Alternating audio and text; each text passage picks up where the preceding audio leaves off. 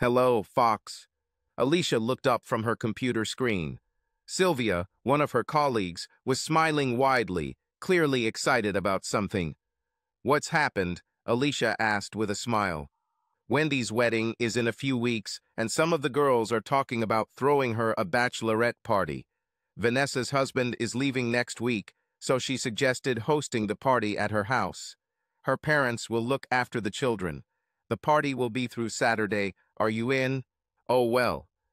Oh, come on, Sylvia insisted. Don't be a bore. Although Alicia Samuelson was relatively new to the firm, she was older than all the secretaries, but only by a few years. However, she somehow earned a reputation as an old bore. It wasn't that she didn't like to have fun, it was just that she didn't have much in common with the others. However, the group always seemed to have so much fun when they got together. It would be nice if she were invited to dinner sometimes. Suddenly, she realized that this was an opportunity to show them that she could have as much fun as they did. I was just going to check with my husband to make sure we didn't have any plans, but I can't remember anything about it. Yes, sign me up, she replied enthusiastically. Great, Sylvia replied with a hidden agenda. Previously, the girls decided to hire a male dancer. It was supposed to cost 175 bucks. The more girls chip in, the cheaper it will be for everyone. She hoped Alicia wouldn't refuse when they told her she had to pay. Now, Wendy knows about the party, but doesn't know that we are hiring a male dancer. She already had a bridal shower with her bridesmaids and her personal friends, but this will be a private party. Just us girls, so it will cost each of us $30. I have to give them a credit card number to secure payment, but I can't let them charge my card. My husband will see this and throw 10 tantrums. I just spoke with the agency, and we will pay the dancer in cash when he arrives. We will, of course, receive a receipt, but this way the charge will not appear on my card. I'd like to have cash by the end of the week. This way, no one will worry about forgetting them on the night of the party. Does this suit you? Sure, no problem. Alicia replied, determined not to be a bore. Great. Oh, and you should bring some extra money to put in his thong, you know what I mean? Sylvia asked with a malicious smile. Playing along, Alicia responded with a mischievous, yeah, and her devilish smile. Oh, Vanessa volunteered to prepare the appetizers, but the drinks will be BYOB, Sylvia added casually. No problem. When Sylvia left, Alicia couldn't help but feel a little nervous. She understood perfectly well that she was invited only to contribute money for entertainment, but still, as long as she worked there, she never managed to break into the company of other secretaries. She was sure that this would change after the party. Damn, she was just as friendly and fun as everyone else. Alicia was later surprised to see her husband's SUV in the driveway when she pulled up. He had his own photography studio and was rarely home before seven or half past eight in the evening. But it was a Wednesday. She was sure it was the day he had a big shoot on location somewhere out of state. He had been preparing for this for several days. He left home around three in the morning, and she didn't expect him home until late in the evening. Dexter was just sorting out the mail when she walked in. Hello, darling, she said, throwing her arms around his neck and kissing his smiling face. How are you home so early? Did something really go wrong during the shoot? she asked, looking into his blue eyes. No. In fact, everything went like clockwork. Cindy did a great job with the organization. I can't thank you enough for recommending her as my new assistant. It was she who suggested filming in Michigan. At first, I didn't want to travel that far, but she convinced me it was worth it and she was right. It's much easier to work there than in Illinois. We blocked off most of the beach and didn't even need permits. When we just started installing the equipment, the police arrived. At first I thought, damn, everything was going too smoothly, but unlike the Chicago cops, they weren't there to bother us or stare at the models. These guys said they heard about us and wanted to know how they could help. Is it true? Alicia answered in surprise. She couldn't count the number of times she had to calm down her angry husband because of the bureaucratic red tape he faced at work. Yes, Cindy even convinced the makeup artist and hair stylist to show up on time. I couldn't believe it. This never happens. Everything went without a hitch. After only four hours of filming, the ad agency representative said we had enough material for the campaign he was working on and declared the shoot over. Who am I to argue with a client? He joked. I'm so glad Cindy is doing well. I was a little afraid to vouch for her, but I thought that if she was even a little like her mother, she would be conscientious and a good worker. I have known Laura since childhood. She was always the big sister I never had, and when she called and said her daughter had just graduated from college and was interested in photography, well, you just lost your previous assistant and... And I am very grateful to you, he said, echoing his wife's words. Listen, I came straight home. I didn't even bring the equipment into the studio. It's still in the car, so we'll have to lock it in the garage and drive your car, he told his puzzled wife. Where are we going? I thought I'd invite you out tonight, so I made a reservation at Plato's. This day promised to be just great for Alicia. First, she had been invited to a party with her colleagues, then her husband had surprised her by coming home early, and now they were going to her favorite restaurant. Undoubtedly, in the evening, they will also have a night of love. Damn it, she thought, it couldn't get any better. A big smile stretched across her beautiful face before she thanked her wonderful husband with a passionate kiss. Oh, she said, quickly tearing their lips apart. How long are we booked for? At seven, he informed her. I need to hurry up and take a shower, she said, pulling away from his embrace. Me too, Dex replied. I'll rub your back if you rub mine. Now his smile was even wider than hers. They used to often have fun together in the shower, but lately their schedules had been so different that they had not been able to fulfill their duty to save water.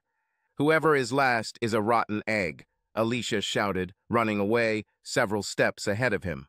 Once upstairs, Alicia went straight to the shower and turned on the water.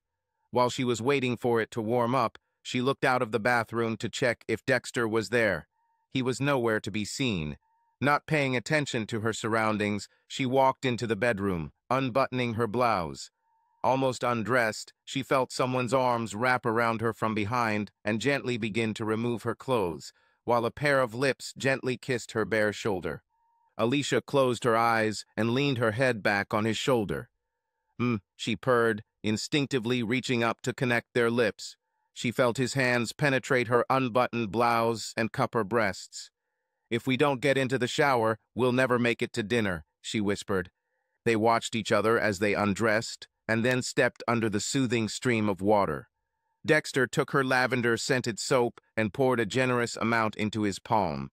Gently his hands slid along the smooth and slippery curves of his wife's body. In response, Alicia took her husband's shower gel. She loved the feel of his muscular torso. She also loved the look of pure pleasure on his face and the way she could make his knees go weak when she washed him.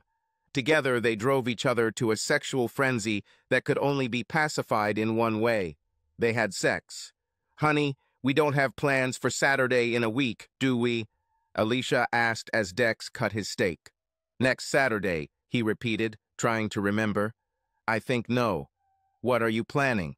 Well, the girls from the office are throwing a bachelorette party for Wendy, and I'd like to go. Certainly, I don't think we have any plans. See, didn't you say recently that you think the girls in the office don't like you? I doubt they would have invited you to the party if that was the case, he encouraged her. Yeah, to be honest, I was a little surprised. She decided not to tell her loving husband the real reason for her invitation. They needed her money for the dancer. Unofficially, we were also invited to the wedding. Wendy said the invitation will arrive this week. Okay, sure, Dexter agreed. When will it be? Last Saturday in June. I've already marked it on my home calendar. I hope we can go. Dexter savored the juicy taste of his tea steak while quickly thinking about his immediate schedule. I'm sure I don't have anything planned for this weekend, honey. Remind me, and I'll block this time in my work calendar as soon as we get home. Alicia smiled. She had something else in mind for when they got home. Their funny little shower scene only whetted her appetite for a night of serious lovemaking.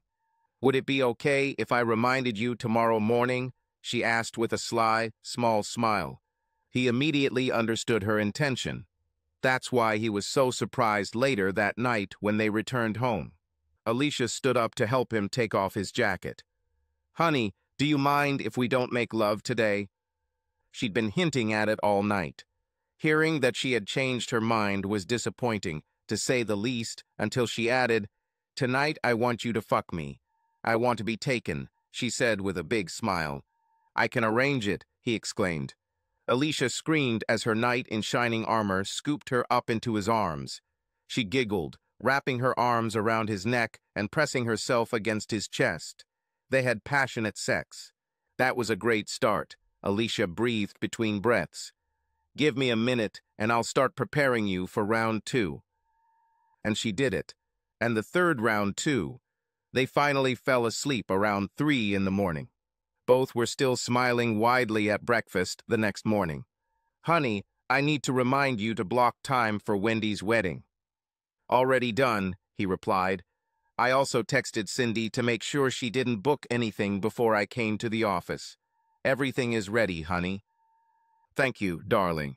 As she crossed the kitchen to thank him with a kiss, it occurred to her what a wonderful husband she had. She was incredibly happy in their life together. She made sure he understood it when her small kiss of thanks turned into a passionate, all-consuming kiss that left no room for words. I love you, darling, he said when their lips finally parted. And I love you, she replied. On her way to work, Alicia stopped at an ATM. She didn't care about $35. Dex never asked questions about such small amounts, so she calmly used her debit card.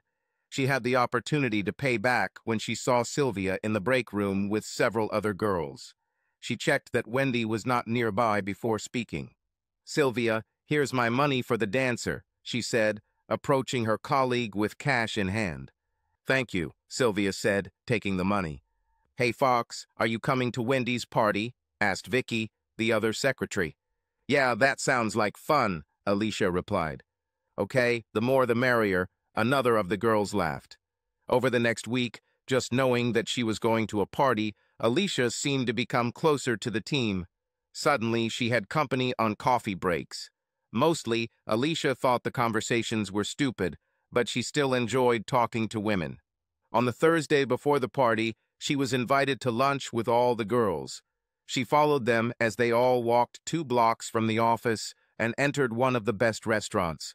One more than usual, Sylvia told the hostess as they entered. The waiter quickly found the seventh chair and immediately brought it to their table.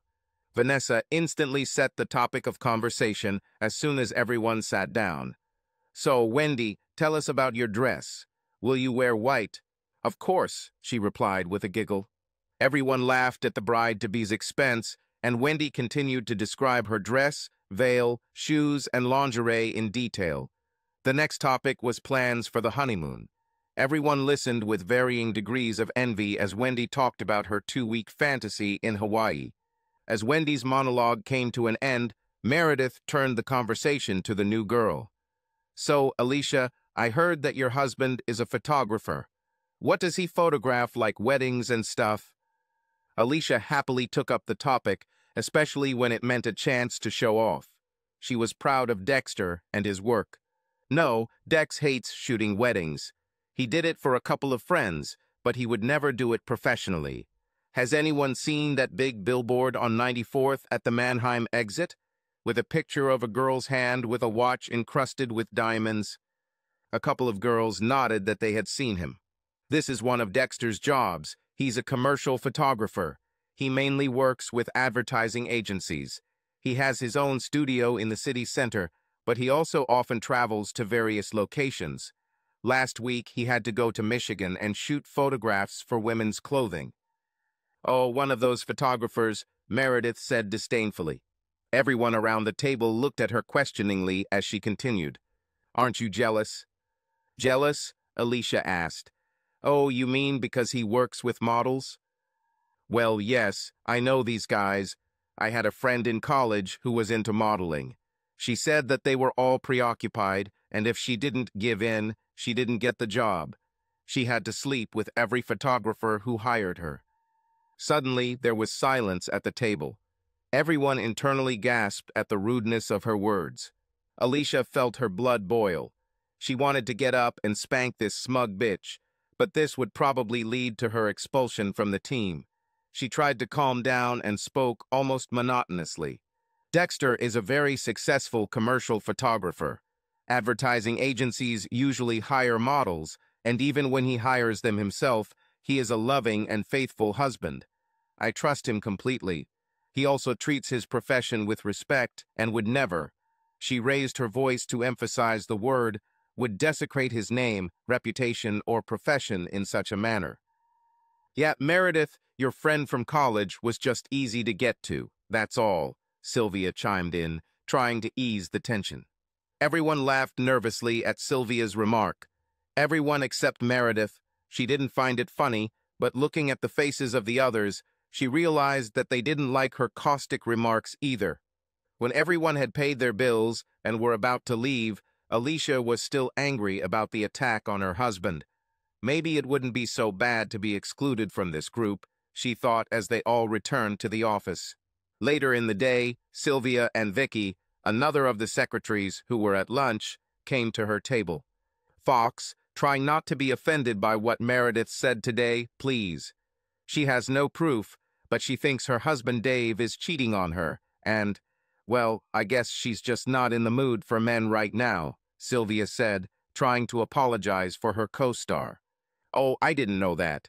Yes, I wasn't offended, she replied. Shortly after, Meredith herself came over to apologize. Alicia wasn't sure if she did it herself or if the other girls had pressured her, but she sounded sincere, so by the time she left that evening, all was forgiven. The next day, Alicia was invited back to lunch with the girls. Despite the still palpable tension in the air, the conversation was light and cheerful. Alicia had a good time and finally decided not to hold a grudge for Meredith's comments. As the day came to an end, all the girls gathered on their way to the parking lot. Sylvia, who was basically organizing the entire party, wanted to make sure everyone knew when and where to be the next evening. So, does everyone have Vanessa's address?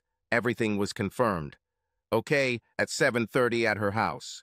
Try not to be late. Oh, this will be so much fun. Thank you, everyone. I really appreciate it, Wendy enthused. The next morning, Alicia woke up in a good mood. She looked at the sleeping figure next to her. She wanted to play, but the poor guy spent half the night editing the photos he took the day before. She watched him breathe rhythmically in and out with a slight snore. She gently stroked his face with her fingers and decided to let him sleep. Carefully, she tossed the blanket to the side swung her legs over the side of the bed, and began to stand up when she felt strong arms wrap around her from behind. Where are you going? Dexter said, playfully pulling her back into bed. Alicia laughed as she found herself in her lover's arms. I thought you were sleeping, she said, giggling. Before he met his wife, Dexter was a young, good-looking photographer who had more of his own pleasures, but none of them compared to what his wife did. The day went on as usual until evening came. Alicia wanted to look good for the party and decided to start preparing early. Honey, do you mind if we just order pizza for dinner? I don't really want to cook, and I need to start getting ready for the party pretty soon. Party? What party? I have theater tickets for tonight. Alicia turned around in panic and looked at her husband with a sly smile. He tried to keep a serious expression, but couldn't. His playful laugh and sparkling eyes told the worried woman that her husband was only joking. Oh, Dex, you had me. For a moment, I actually thought you forgot. No, honey, I haven't forgotten, he replied with a wide smile. Do you want me to call and order pizza now? Yeah, honey, that's probably a good idea. I need to jump in the shower soon. Dexter called to order their favorite thin crust pizza and then put the coffee on while Alicia went upstairs to decide what she would wear. When the courier rang the doorbell, she had already chosen her entire outfit and laid it out on the bed. Sitting at the kitchen table, enjoying a crispy pizza, Dexter noticed the excitement in his wife's eyes. It's important to you, yes, Fox. Yes, I guess so, she admitted with a slight sigh. Remember my friends in college? We were like the three musketeers. We did everything together. Her thoughts went back to the past for a moment. I miss this, the interaction. But I don't understand. You've never had trouble making friends.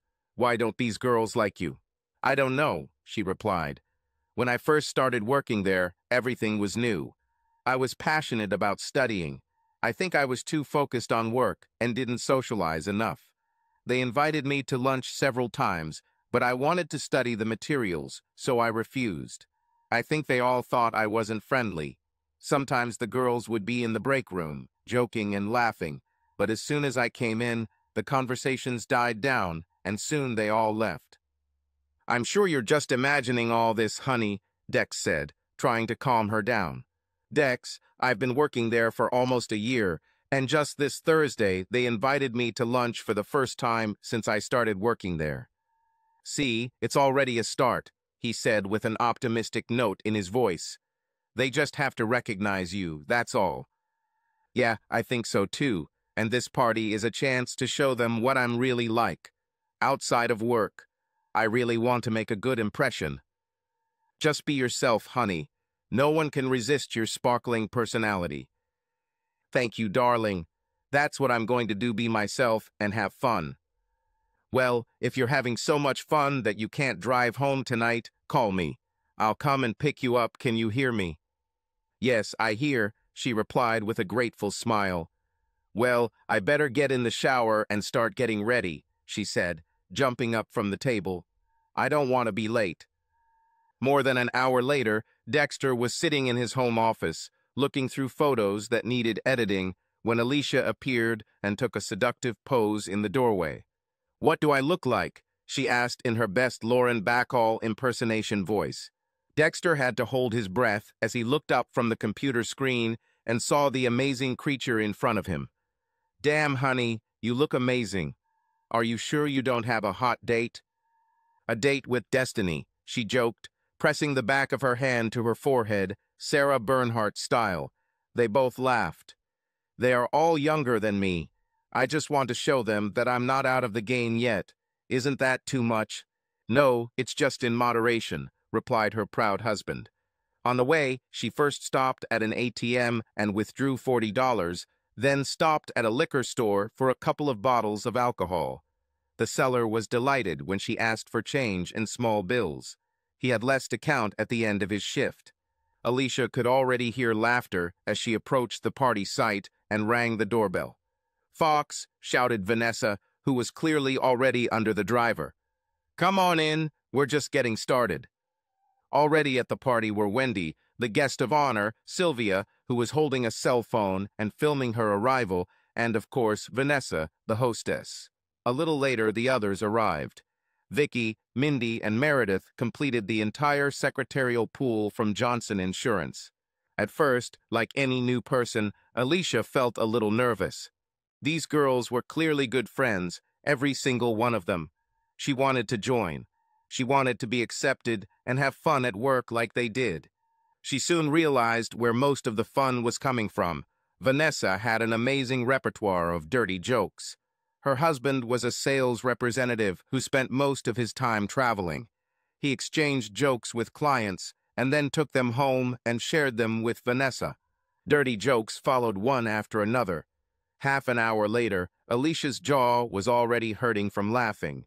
An hour into the party, she relaxed and enjoyed the company. She had already told the only two dirty jokes she knew and laughed at them. When Alicia walked over to the alcohol table to mix her third cocktail, she was a little surprised at herself. She was already starting to feel the effects of the first two. Well, she thought with a slight smile, this is what she was missing. Most of her university friends were scattered all over the country. Sure, he and Dex had mutual friends, but they were their friends. Alicia wanted her own friends, and these girls seemed like fun, and they finally accepted her as part of the group. Goodbye to lonely, boring days at work, she was sure. She took a stick and stirred the drink before taking a sip. So, she told herself as she returned to her new friends, if my husband has to come and pick me up, so be it. As soon as she sat down, the doorbell rang. Vanessa jumped up and headed in the opposite direction. Wendy, please open the door. I urgently need to go to the ladies' room, she said, heading to the bathroom. As soon as Wendy turned her back, everyone stood up quietly. Quietly, everyone followed the unsuspecting girl who opened the door. Sylvia kept her phone ready to film the surprise. Yes, officer. Wendy didn't understand why there was a policeman at the door. She just noticed that he was damn cute. Ma'am, are you having a party? Some neighbors call and complain about the noise, he said with authority in his voice. Oh, I'm so sorry, Wendy replied. I didn't realize we were making so much noise. I promise we'll be quiet. Sorry, but that's not enough, he stated, walking into the house and standing next to her. I am arresting you for disturbing the peace. Please turn around and put your hands behind your back. What? No, I... I don't even live here. I...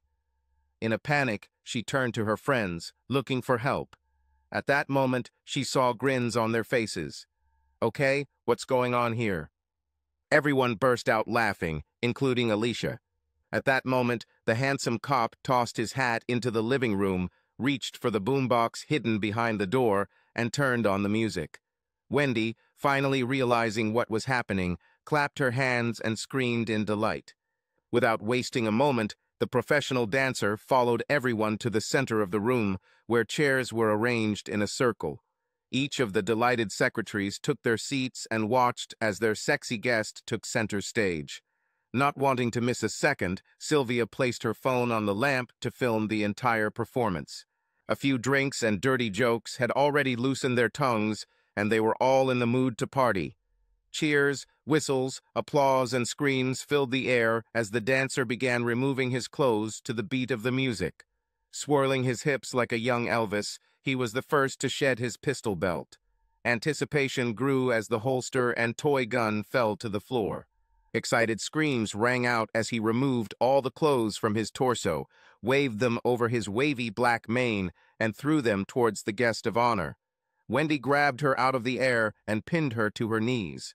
He'd only been in the show for a few minutes, but he was already making hearts beat faster when he pulled his pants down in one motion. Shake that ass, screamed a breathless Mindy. Shake that ass. Vicky added, Take it off. Take everything off. Under the influence of alcohol, the instincts feel like stones as the ominous music worked its voodoo magic. Dollars turned into fives and tens as the girls tried to persuade the artist to take off his last shred of modesty. When he approached Sylvia, she could not stand it. Pure screams of delight shook the house as she reached out with both hands and pulled the small piece of fabric down to his knees. The agency had a strict ban on full nudity and touching. The rules would require that the show stop immediately, but this was not the first time, and he knew without a doubt that by the end of the evening he would enjoy himself. Okay, you wanted to see him, now do something with him, he told her. It was like feeding sharks, each woman taking turns. Suddenly, spellbound, Alicia found herself face to face with dignity. Come on, Fox, I bet you can't do it. Do, Meredith egged her on. She didn't count on it. Never in her wildest fantasies did she think that she would be asked to cheat on her husband.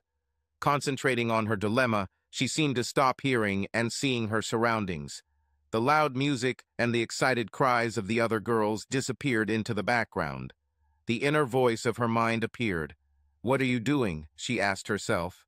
You have a wonderful and faithful husband at home.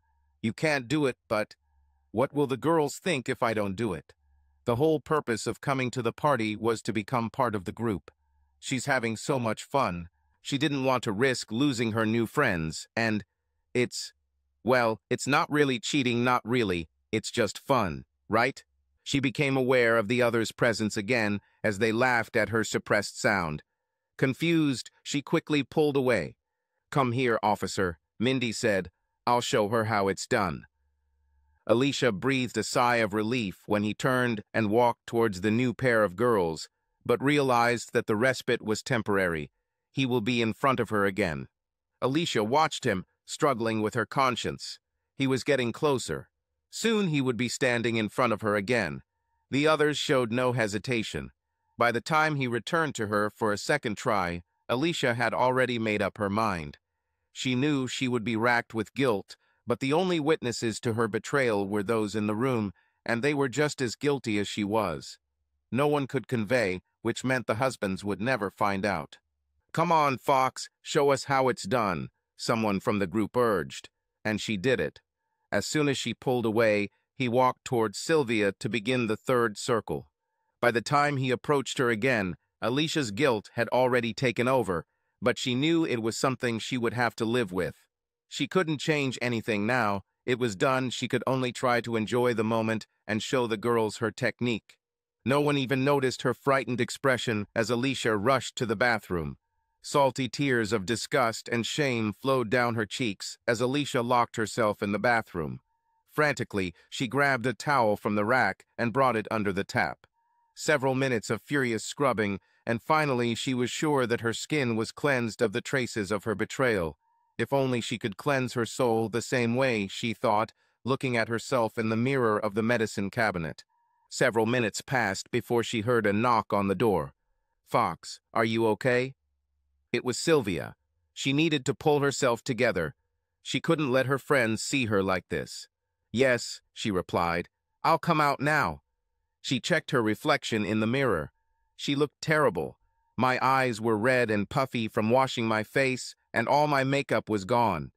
Her purse was in the living room, so there was no way to even touch up her makeup before going out to the others again. She quickly came up with a little lie.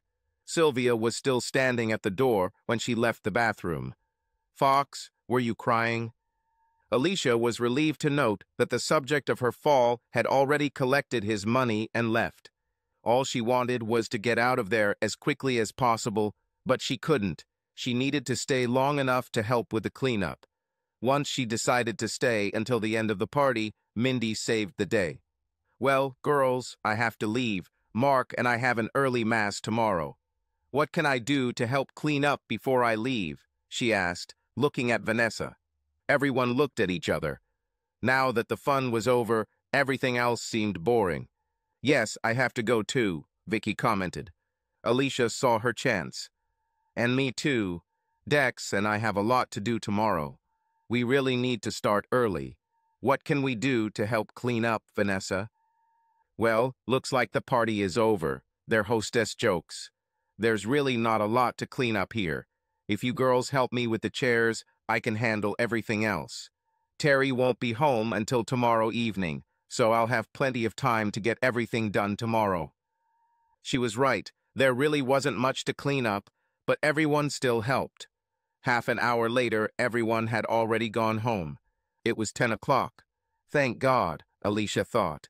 She never said how late she would return, but she knew that he did not expect her home so early. She had time, time to process what had happened. She needed time to try to rid herself of the overwhelming guilt before confronting Dexter. There was no doubt in her mind that one glance would be enough for him to immediately understand that something was wrong. She wondered if the redness and puffiness around her eyes had gone away yet. This reminded her that she also needed to reapply her makeup. Up ahead, she noticed a familiar Denny's restaurant sign. She found a two-person booth against the wall and ordered coffee. Sitting there, she again felt like she wanted to cry, but she managed to hold back. Okay, it's over, I did it once, but never again, she told herself. Never, never again. Alicia was scared to death to go home. She was sure that her sins were written on her face and her husband would read everything. I must behave naturally, she told herself. One look at me and he'll understand. He'll understand what I did. All the way home in the car, she repeated to herself, never again. It was almost midnight when she walked through the door. Dexter fell asleep on the couch, but woke up as soon as he heard her coming. Hey, my party girl, how did it go? It was fun, she replied. Is it true? Yes, this Vanessa knows more jokes than a late-night comedian. She kept everyone laughing all evening. What are you watching? she asked, trying to change the subject. Oh, I don't know, I don't even remember. I fell asleep, so whatever it was, it wasn't very good. He laughed. The anxious wife felt an uncontrollable desire. Without saying a word, she sat down next to her unsuspecting husband and hugged him tightly, resting her head on his chest. She felt the warmth and safety of his arm as he hugged her tighter. Do you mind if we just lay down and cuddle tonight? I'm very tired, but I want to feel you next to me, she told him. I want to fall asleep in your arms. And so they did. It took some time, but Alicia finally drifted off to sleep, nestling comfortably in her husband's arms. All Sunday, she was busy with household chores. Now only time could help time to forget, time to forgive yourself. On her way to work on Monday morning, she couldn't decide how she was feeling. She thought that returning to the stressful rhythm of work would help her forget. But there would be her new friends with whom she shared her shame. Even if they didn't let it slip, everyone knew what they did. Hello, Fox. Vanessa was the first to see her as she walked in and sat down in her seat. They exchanged pleasantries, but Mondays were always busy, and the secretaries had no time to chat until lunch. Up to this point, if she still had any doubts about being accepted into the group, they disappeared when everyone stopped by her table on the way to the restaurant. Hurry up, Fox, Sylvia recalled in a friendly manner. They only had an hour. The chatter began as soon as everyone sat down with the menu. Um, this looks delicious, Vanessa said, pointing to an item on the menu. Cop stripper a la cam. Alicia couldn't believe how calm everyone was about it as they all burst out laughing. They have no shame, she wondered. God, he was so cute, Mindy added. Yes, Vicky replied. Of course, this caused a new burst of laughter. Sylvia reached over and took her phone out of her purse. Let's take a look, she said out loud, looking at the screen. Several necks immediately craned in one direction to better see what she was looking at. Wendy, who was sitting next to her, was the first to see what was on the screen. Oh, right, she exclaimed. You wrote it down. Let me see, she said, holding out her hand for the phone. Alicia was terrified. Did you write this down? she almost screamed. Certainly, I want to live this experience, as they say. Damn, he was so cute, Wendy said, smiling. Let me see, Meredith demanded, snatching the phone from Wendy's hands. Her eyes were still glued to the screen when the waiter approached. She quickly put the phone face down while everyone ordered, but as soon as he left, Meredith picked the phone up again and couldn't wait to continue watching. Let them go in a circle. Let everyone look, Sylvia asked. Alicia watched a small clip, but unlike the other girls who were enjoying their performances, she was horrified by what she was doing. She quickly passed the phone on. Sylvia, I hope you delete this. Why? Who will see this except us? Relax, Fox, Sylvia replied. Sylvia, if my husband sees this, I will be in big trouble. We're all going to have problems. The other girls looked at Sylvia, realizing that Alicia was right. Oh, don't tense up. I'm going to delete this, but if you're afraid someone will see, forget it. The only one who can see this is my husband, and in all the years that I have had my own phone, Manny has never touched it. The company he works for provides him with his own phone. Whatever, Mindy chimed in, the fox is right. If Mark had found out what happened, I'd be in divorce court by now, no doubt about it. Okay, okay, I won't keep this on my phone for long, so girls better enjoy it now, she chuckled. For the rest of the hour, the phone sat on the table, accessible to anyone who wanted to look more. Alicia was the only one who didn't touch him. It took several weeks before Alicia was able to go through a day without intense feelings of guilt. By the end of June, she had almost completely repressed it from her memory. Manny patiently drank coffee in the kitchen while waiting for his wife. Jennifer, their six-year-old daughter, was watching her morning cartoons in the living room, and Sylvia was still upstairs getting ready after all. She was one of the bridesmaids. She needed to look her best. She glanced at the clock on her dressing table. They still had to take Jennifer to her husband's parents on the way to the wedding, and time was running out. Nervously, she picked up the comb for one last attempt to straighten her hair. Manny had just seen his wife and couldn't believe how gorgeous she looked. She hadn't looked so beautiful since their own wedding, he thought. As he stood up to put his coffee cup in the sink, he got an idea, to take a selfie with her. Of course, there will be a photographer at the wedding, but he wanted to show it to the guys at work on Monday. The camera on his phone was very bad. Sylvia's camera was much better. He knew the photo would turn out better if he took it with her phone and then sent it to himself than if he took it with his camera. Her purse was in its usual place on the kitchen table near the garage door. Manny pulled her phone out of her purse and turned on the camera. When he did this, a thumbnail feed from the last time he used the camera automatically opened at the bottom of the screen. The last miniature caught his attention. What the hell, he thought, this must be from the bachelorette party she went to. Being a normal, curious man, he couldn't pass up the chance to see what really goes on at these parties, so he pressed play. The first couple of minutes of the video showed various women arriving. Manny didn't know many of them and was interested to see what his wife's colleagues looked like. Not bad, he told himself several times. He scrolled through most of the women's conversations, but stopped and went back when he saw everyone laughing to hear the jokes. He was already getting bored and was about to turn off the video when, Okay, that's it, I'm ready, Sylvia announced as she walked down the stairs. Damn, he muttered quietly under his breath, and just in time for the most interesting moment, he thought. He wondered why Sylvia didn't say anything about the police showing up.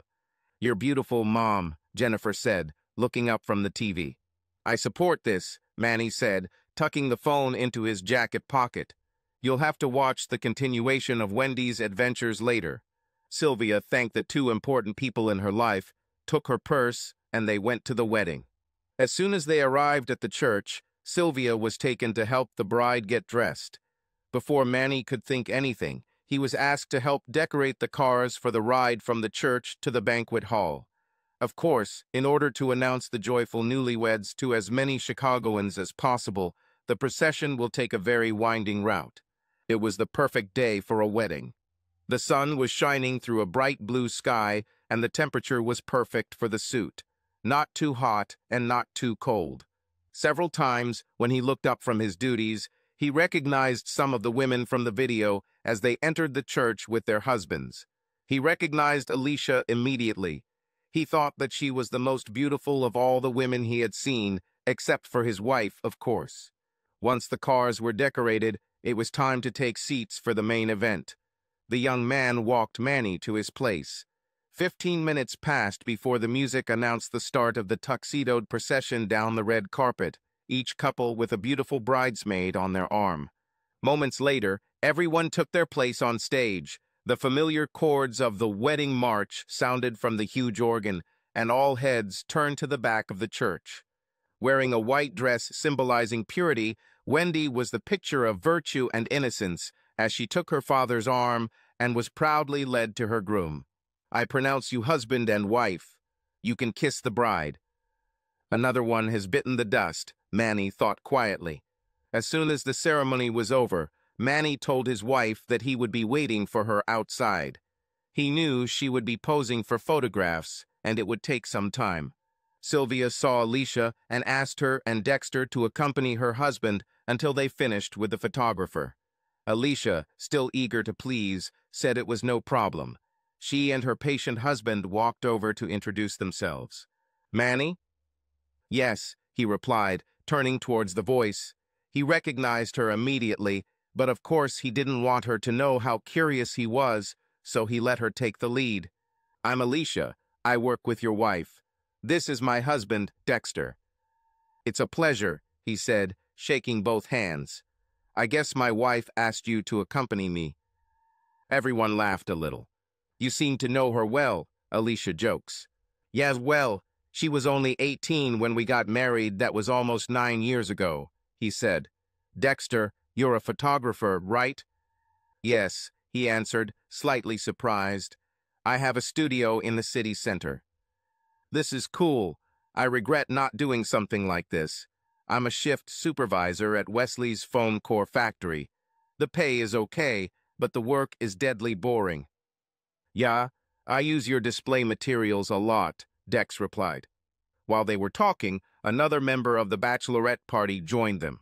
Alicia introduced Vanessa to the two men, then asked about her husband. Don't even mention that bastard, she replied sharply. He's on some big order in Minneapolis. He promised to be back for the wedding, damn it. Yesterday, he called me from the airport and said that he was flying out.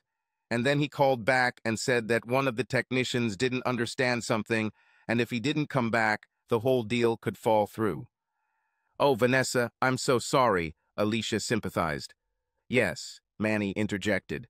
I'm sure he's not happy about the current situation either. Oh, I know, Vanessa agreed. He promised to make amends. He doesn't know yet, but it will cost him two weeks in Hawaii on his next vacation. This brought smiles to everyone's faces and led to discussions on various topics. Before they all knew it, Sylvia was already standing next to her husband. Once the formal photos were taken, everyone headed to the banquet hall. Manny was left alone again, since Sylvia had to stand in the receiving line. Leaving her at the door, Manny went to find their table. It was a good thing, he thought when he saw the nameplates, that Dexter and Alicia would also be sitting at the same table. He looked around and saw that they were communicating with others that he recognized from the video. The video, he almost forgot about it. He was the only one at the table, and he was really curious about what happened to Wendy at the party. He sat down and double-checked that no one was nearby or looking over his shoulder before pressing play. As soon as the video started, he saw the policeman throw his hat into the living room. What the hell, he muttered. Is he a dancer? They hired a damn dancer, he whispered to himself. Sylvia forgot to mention that little detail, he thought. He checked again to make sure no one was nearby, then continued to watch with irritated interest. Manny let out an audible gasp as he saw Sylvia pull down the dancer's thong. His mouth dropped open, looking at this in disbelief. It was like watching a car crash. It's terrible to see, but it's impossible to take your eyes off what's happening. Manny no longer worried about anyone being near him or looking over his shoulder. He was furious. Bitch! He shouted loudly just at the moment when everyone from the receiving line came inside. He looked straight at his wife and finished his sentence. Bitch! She looked at him with horror. She had no idea what had happened, but his behavior was unforgivable. Manny, she shouted back, what is wrong with you? This scream attracted the attention of many, including Dexter. He had just approached the table and was about to try to calm his new friend down. What is wrong with me? That's what's wrong with me, he shouted, waving his phone. He felt Dexter's hand on his shoulder. Manny, Manny, calm down. Buddy, calm down. What is the problem? He turned to the potential calming influence. Here, Dexter, do you want to know what's wrong? Have you ever seen your wife satisfying some dancer? Here, here, see for yourself, he said, turning up the volume and thrusting the phone into Dexter's hand. See for yourself. Oh no, Sylvia cried. She heard the girls screaming in the video and finally realized that her husband was watching. Her legs gave way and her eyes instantly filled with tears. Alicia looked at her friend and also realized what was happening. She was seething internally. This is exactly what she was afraid of. Why didn't this bitch delete the video when everyone asked her to? Everything seemed to be happening in slow motion as she saw Dexter pick up the phone. Now there was no way she could prevent him from seeing what she had done. Dexter was so focused on trying to calm the situation that Manny's words didn't sink in right away. He glanced across the screen and recognized his significant other. He looked at Alicia with fire and brimstone in his eyes. Alicia didn't know what to do. I couldn't do anything. There was nothing she could say to ease the pain and anger she knew he felt. She stood there, completely unaware of her surroundings. She must have mentally apologized a thousand times before she realized that she had to actually open her mouth and say the words for him to hear them. Dexter, I'm sorry, I, we, it. She tried to apologize, but the words wouldn't come out maybe because there were no words. How do you apologize for desecrating the most sacred vow between a husband and wife? Angered by such outrageous behavior on the most important day of his life, the groom was now about to intervene as well. Wendy, who was standing next to him, grabbed his arm, trying to stop him from finding out what a bitch she was. Aaron, don't. He pulled his hand out of her grip and quickly approached the angry man who was causing all this commotion. His excited bride walked behind him. What the hell, man? It's my wedding, he half shouted, walking up to the table to confront the instigator.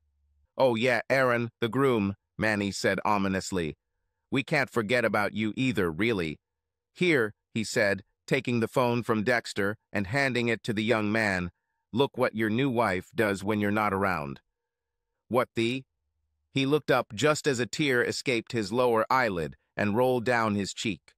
Honey, it, it was my bachelorette party. We, we were all drunk. It, everything just got out of control, she tried to explain. Dexter is tired of all this. He took out a business card from his wallet.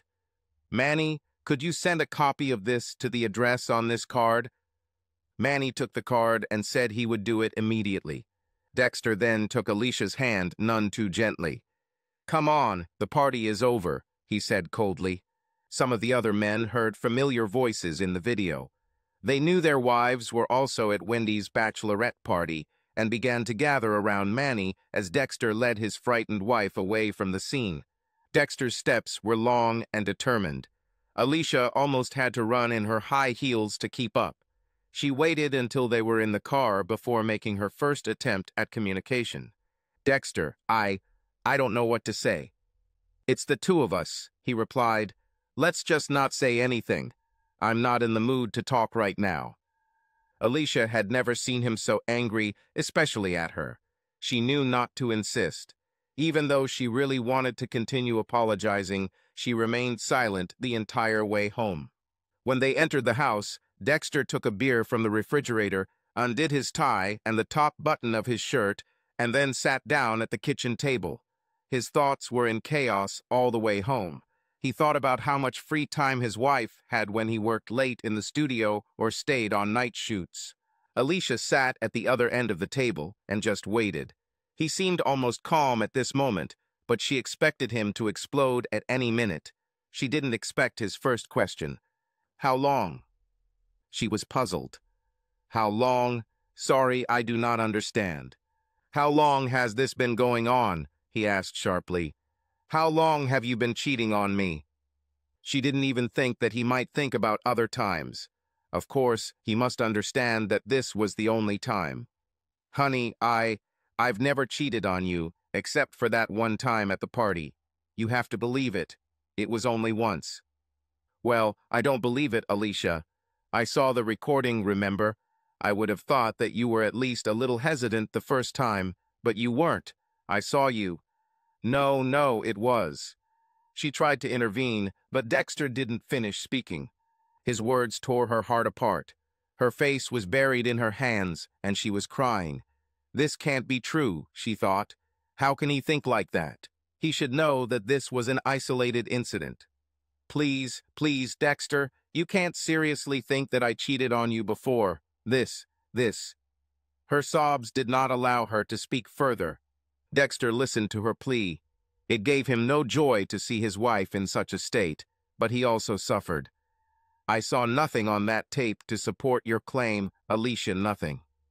He sat quietly for a few moments, listening to her cry, and decided that he needed to leave. Alicia, I know you are suffering right now. You feel bad because you got caught, and you know you hurt me, and I'm sure that was never your intention. No, no, Dexter, I'm so sorry. He interrupted her again. This really doesn't help Fox. I don't think you understand how much you hurt me. I don't think you have any idea what it's like. If it were a one-time thing, as you claim, then you should have come to me. You should have told me about this. That's another reason why I think this wasn't an isolated incident, Liz. If you had told me right away what happened, I wouldn't have liked it, but I would have forgiven you. But no, you didn't. Not only did you cheat, but you hid it from me you and your so-called new girlfriends kept it a secret. Besides cheating, you were a liar. You knew they were going to bring in a dancer, didn't you? You didn't even think to mention it to me, right? You satisfied him, but you didn't think to say that either. So how do you expect me to believe you when you say this was the only time? Dexter, I swear. Sorry, Alicia. There's nothing you can say right now that would make me believe you. The grieving wife began to cry even more, but Dexter stood his ground. I need time to think, but I can't do that here. I'm going to pack some things and live in the studio for a while. No, oh no, Dexter, please, please stay with me. Don't go, please, she begged. I can't, Fox. Not now. I need time for myself. I have a lot to think about, and I have to be alone. She was still sitting at the kitchen table when he came down with the suitcase. He stopped at the door. Give me some time, Fox. I'll call you in two or three days, but please don't call me first. Dexter, I love you, she cried as he walked out. I love you too, he said quietly as he got into the car. Throughout the weekend, Dexter and her marital problems were on Alicia's mind. She didn't sleep all night on Saturday.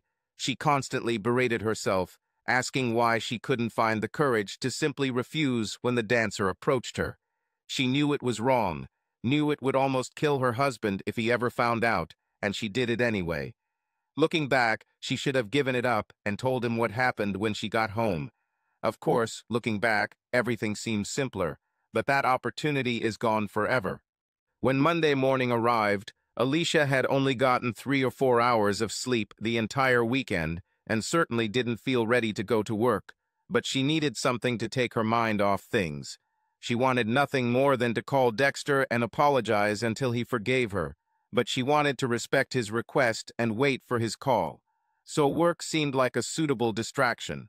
The first thing Alicia noticed when she arrived at work was the unusual silence, especially for a Monday. She looked at the row of secretaries' cubicles, but they were all empty. Then she noticed Vanessa's elbow. Are we alone here? she asked. Vanessa peeked around the partition to see who was speaking, then immediately stood up and beckoned Alicia over. Are you okay? she asked in a quiet voice. No, not really, she replied as tears began to form in her eyes again. Dexter spent the weekend in the studio. I'm afraid. I've never seen him like this. I'm so sorry, Fox. I can't believe Sylvia didn't delete that damn video.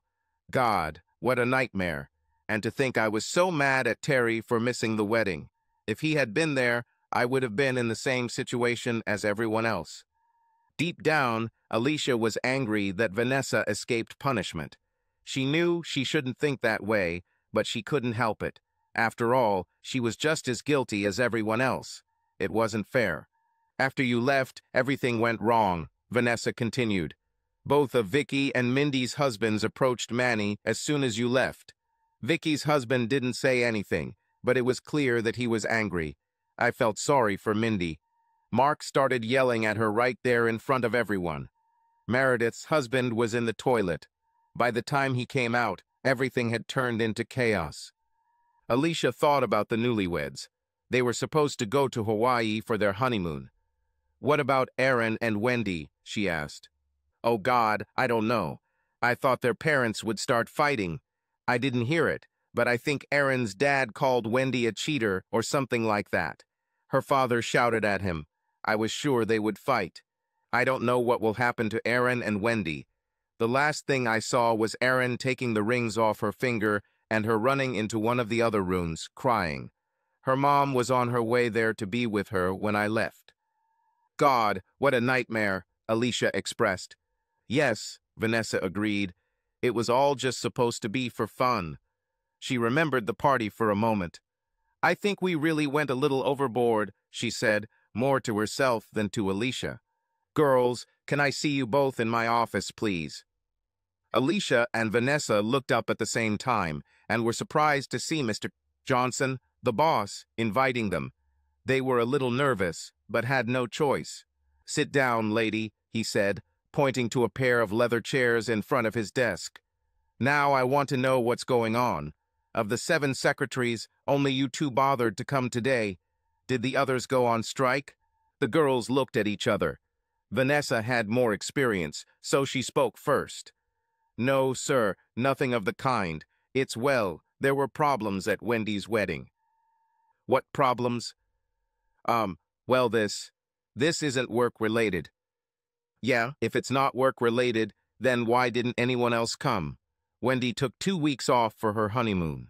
I had to hire a temporary worker for her, but unless anyone forgot to tell me, everyone else should have been here this morning. Alicia realized that Mr. Johnson would not stop questioning until he found out why none of the other secretaries came. We threw Wendy a bachelorette party a few weeks ago. Things got out of control and our husbands saw the footage at the wedding. Everyone is really angry, she told him. I see, he sighed. Vanessa, since you've been here the longest, you'll be my secretary until Sylvia returns if that ever happens, he added. Your first duty is to contact the temporary service we use and find us more secretaries immediately. You must find the number in Sylvia's file. Wendy's temporary worker should be here any minute. Arrange it first, then come back here so we can discuss everything. Alicia, you will continue to work with Tom. Yes, sir, she replied. Dexter had a rough weekend, too. He slept about as much as his wife, he wanted to believe her when she said it was just one time, but how can you force yourself to believe in something you don't believe in? To be honest, he didn't know what to believe. He never thought Alicia would cheat on him, but now that he knew she did, he couldn't stop thinking about how much free time she had. She was never intrusive. She always seemed like an understanding wife when he had to stay late at work or go away on night shoots. He had always thought of her as patient and understanding, but now, looking back, he wondered if she was using this time to meet other men. Maybe that's why she was so understanding. This terrible feeling is doubtful. Once it appears, it is almost impossible to get rid of it. As soon as his assistant Cindy walked in on Monday morning, she immediately knew something was wrong. Her boss didn't have that big smile and cheerful mood that he usually had. She didn't want to pry into other people's affairs, so she didn't say anything. Dexter focused on what needed to be done, and it turned out to be a productive day. But as soon as he finished, thoughts about his marital problems flooded him again. He also needed to decide something about his place of residence. The studio had a shower in the dressing room, as well as a microwave and coffee maker, but he slept on a couch he bought as a prop for a series of underwear shots taken a few months ago. It worked well as a prop, but was far from comfortable for sleeping. All Monday night, Alicia waited anxiously for a call from Dexter. She was almost going crazy with worry. At least a dozen times she started to dial his number, but stopped herself. When he didn't call by midnight, she went to bed and fell asleep crying. The next day, Mr. Johnson called Vanessa into his office and told her that both Mindy and Vicky had called and said they would be at work on Wednesday. He also reported that Sylvia called and said that her husband would no longer allow her to work there. She officially quit. So far, he hadn't heard anything from Meredith and assumed that Wendy was on her honeymoon and would be back in two weeks. Vanessa doubted it, but hoped it was true. As soon as Vanessa left the boss's office, she immediately ran to Alicia with the news. Later that night, Alicia's heart almost stopped when Dexter called to say that he had moved into a motel and was going to pick up more things. She took this as the beginning of the end of their marriage. First, she threw herself on the bed and started crying again. She really loved Dexter. She liked his passion and positive outlook on life. She loved his sense of humor and how he could always make her laugh, even when she didn't want to. She loved the way his mouth turned up at the corners when he smiled, and she adored the love she saw in his eyes every time he looked at her. She couldn't imagine her life without him. I have to do something, she told herself, and lying around complaining about my fate won't change anything. She needed to fight, fight for her marriage, fight for her man. Somehow she had to convince him that she had never cheated on him before that party. This would at least be a start. She quickly showered, put on casual clothes, and had just finished applying light makeup when the doorbell rang. This is still your home, Dexter, why are you ringing the bell? I don't know, it just doesn't seem right to just walk in, he replied. He headed for the stairs, but Alicia had her own plan. She was losing him, and it was obvious. She was desperate and willing to take a risk, a big risk. Dexter, before you do that, can we talk? He hesitated a bit before answering. Let me get my things, then I'll come and talk. She had made coffee for both of them when he returned downstairs. Dexter sat down at the kitchen table and took a sip of his black drink. He really had nothing more to say. He already said everything earlier. Now it was just a matter of making a decision, in his opinion. Dex, at the reception I heard you tell Manny to send you a copy of that video. Did he do that? Yes, it's in my inbox. Have you watched it yet? she asked. No, I don't really need to see any more. I've seen enough already. Alicia remembered the first time the dancer approached her. She hoped the video captured her reaction. Damn it, he'd already seen the worst part of what she had to lose. Dexter, I want you to watch it from the beginning. For what? You haven't seen all the videos. I only saw a few seconds of the recording. Sylvia had it at lunch that Monday, but I was too embarrassed to look. You said you thought I cheated on you before because I didn't hesitate, but that's not true. I remember the first time he approached me. I was the last one. I know it's not a lot, but I hesitated. I hope you see it on video. Dexter took a deep breath and exhaled heavily. I don't know, Alicia. I really don't want to watch this. You should watch this, Dexter. You really have to see everything. At the end, you will notice that I am no longer in the chair. It's because I ran to the bathroom. This is not what I wanted. I cried while I washed it off. This was the first and only time I've ever done something like this, Dexter. I stopped at a restaurant before returning home that night so my eyes wouldn't be red when you saw me. The party actually ended before 10, but if you remember, I didn't get home until midnight. I don't know, he said again, standing up. I just never thought that you would cheat on me, Fox. I never thought. His thoughts were all mixed up. He didn't know what he wanted to say. I have to go, he said, heading into the living room. I'll think about watching the video, but I can't promise anything, Liz. I... I just don't know if I can ever trust you again. I just do not know. These were the last words before he took his things and left. They didn't sound very reassuring to Alicia. She wanted to cry again, but she was determined to stay strong from now on. On Wednesday, of course, Mindy and Vicky were sitting at their desks when Alicia arrived at work.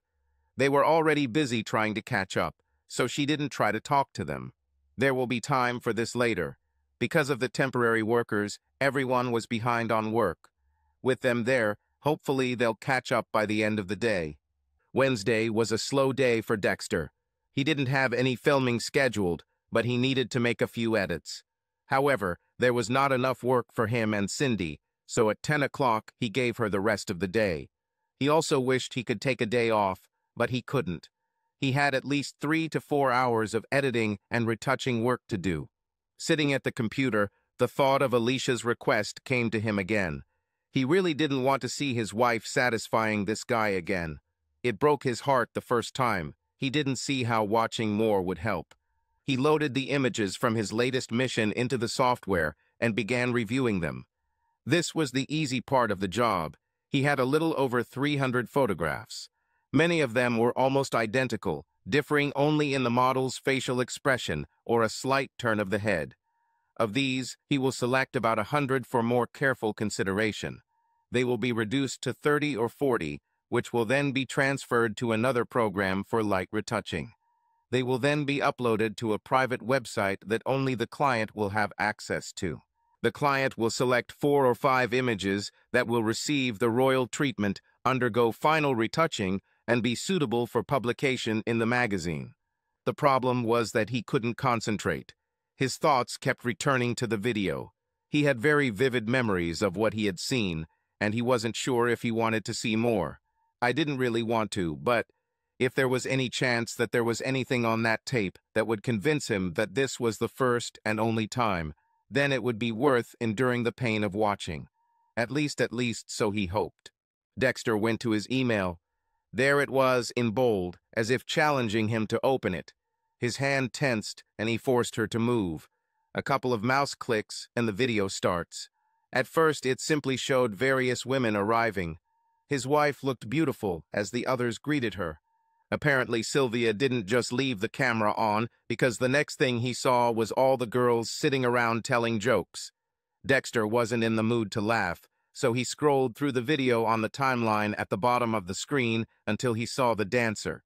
He was not naive. He remembered his friend's bachelor party, which he attended. They actually went to a nightclub and had a party there. He remembered guys making a fuss when dancers tried to raise their testosterone levels, but none of the guys ever touched the girls, and compared to the girls on the tape, the guys behaved very well. These girls have already started acting wild, but the guy has just started. Dexter could almost smell the female pheromones through the computer screen. Dexter decided he needed a break and pressed pause. He stood up for a cup of coffee, but his stomach growled. A quick glance at the clock showed that it was already past noon. He welcomed this respite and decided to take a long break. There was a Denny's restaurant nearby. At lunchtime, it filled faster than a barrel under a waterfall, but it was after one, and the place was almost empty when he entered. He was in no hurry to return, so after lunch he sat and meditated over a cup of coffee. He really missed Alicia. The only thing he hated more than crawling into an empty bed at night was waking up in it in the morning. When he thought about the recording, he suddenly became impatient to go back and watch more. He hoped to see what Alicia wanted to show him. He could perhaps forgive her if he was sure that this was her only time. God, I hope there is something there that will convince me of this, he prayed to himself. He needed something to clear his doubts. Returning to his desk, Dexter played the tape again, skipping over scenes of other women showing off their skills, but stopped when he saw Alicia. He watched carefully as her expression showed her hesitation at the moment of truth. Yes, he could see it. It seemed like she was really going to refuse. Then he heard one of the other women challenge her to accept everything. The others laughed at her, and he heard someone else say that he would show him how it was done. He saw what she wanted to show him, and yes, there was a small spark of hope, but he also saw tears for the first time. She may have been indecisive, but no one forced her to do it. There was a lot to think about, but he had seen enough. He turned off the video as more tears rolled down his cheeks. He stood up and went to the bathroom to wash his face before returning to work. On Thursday morning, Mr. Kez Johnson called Vanessa into his office. As you can guess, I was trying to contact the other secretaries to figure out what was going on. You know, of course, that Sylvia quit, but I hadn't heard from Meredith, and I wasn't sure if Wendy had gone on her honeymoon, he said. He has a gloomy face. I have no idea what happened at that wedding, but I finally got through to Aaron. He answered when I called the home number I had for Wendy. Apparently, they lived in the same apartment. He said he hadn't seen her since the wedding but knew she was staying with her parents. I don't have their number listed as an emergency contact on her job application, and he hung up before I could ask for their number. Do you know him? No, Mr. Johnson, I don't, Vanessa replied. Okay, since I can't reach her and she hasn't called me, she's obviously not very interested in keeping her job. I want you to call HR and ask them to post our regular ad for a new secretary. Yes, sir, she answered sadly. Also finally managed to talk to Meredith. She'll be back on Monday. Make sure the temp agency knows about this, please. Vanessa confirmed that she would take care of it, but before making any calls, she needed to break the news to Alicia. Meredith will be back on Monday, she announced. She'll be back. How do you know? Mr. Johnson spoke to her. He also spoke to Aaron. Aaron? Alicia gasped. Somehow. That is. He called their apartment, and Aaron answered. He said Wendy was staying with her parents. Mr. Gow Johnson had HR put out an ad for a replacement, Vanessa said. They obviously didn't even go on their honeymoon. God, she must be terrified. Yes, Alicia agreed, but imagine how horrified Aaron was watching her satisfy that guy. Yeah, I know. I've talked to the other girls before. Vicky's husband still won't talk to her, and Mindy hasn't seen Mark since that night. She's very scared. She said she's never seen him this angry. He didn't hit her, did he? asked Alicia. No, I don't think so. She would tell me if that happened. She prays he'll calm down, but she doesn't think that will happen. She thinks he'll want a divorce. Alicia didn't say anything. She remembered her situation. Vanessa guessed what she was thinking. What about Dexter? Any news? Not really, she sighed in response. He picked up another load of clothes last week. He was staying at a motel, not a studio. I don't know what I'll do if he wants a divorce, Vanessa. What about counseling? Would he agree to that? I don't know, she admitted. I don't know if it would do any good, but I could try, I guess. It wouldn't do any harm. That evening, Alicia wondered if Dexter would be open to couples therapy. She hadn't heard from him and wasn't sure if he had watched part of the video yet or not. She decided to wait until the weekend and see if he would call her first. On Friday afternoon, the girls were all shocked when they saw Sylvia enter. Alicia was the first to react. I thought you quit. Her tone was unfriendly. Sylvia noticed this and responded awkwardly. Yes, I just stopped by to pick up a few personal items and Mr. Johnson said I could pick up my check today instead of waiting for it in the mail. She hoped for friendly faces, but saw none. I, I'm so sorry, girls. I was really going to delete that video, but I completely forgot about it. I didn't even know Manny took my phone until he started screaming in the reception area. I'm so sorry. Yes, they got caught because of the video, but everyone knew they did something wrong. Sylvia's apology softened several sentiments. How's Manny taking it? asked Vicky. Not very good. It's not my idea to quit. He's forcing me to do it. I'm also sleeping in the guest room. He's not thinking about divorce yet, thank God. He started talking about going to a counselor, so I think we'll go to therapy. Is it true? Alicia asked. Do you know a good consultant? Yeah, one of the guys Manny works with recommended someone. It's a woman. She's supposed to be very nice. Why? Do you want her number? Yes, do you have it? No, not on me, but I have some at home. I'll call later and give it to you.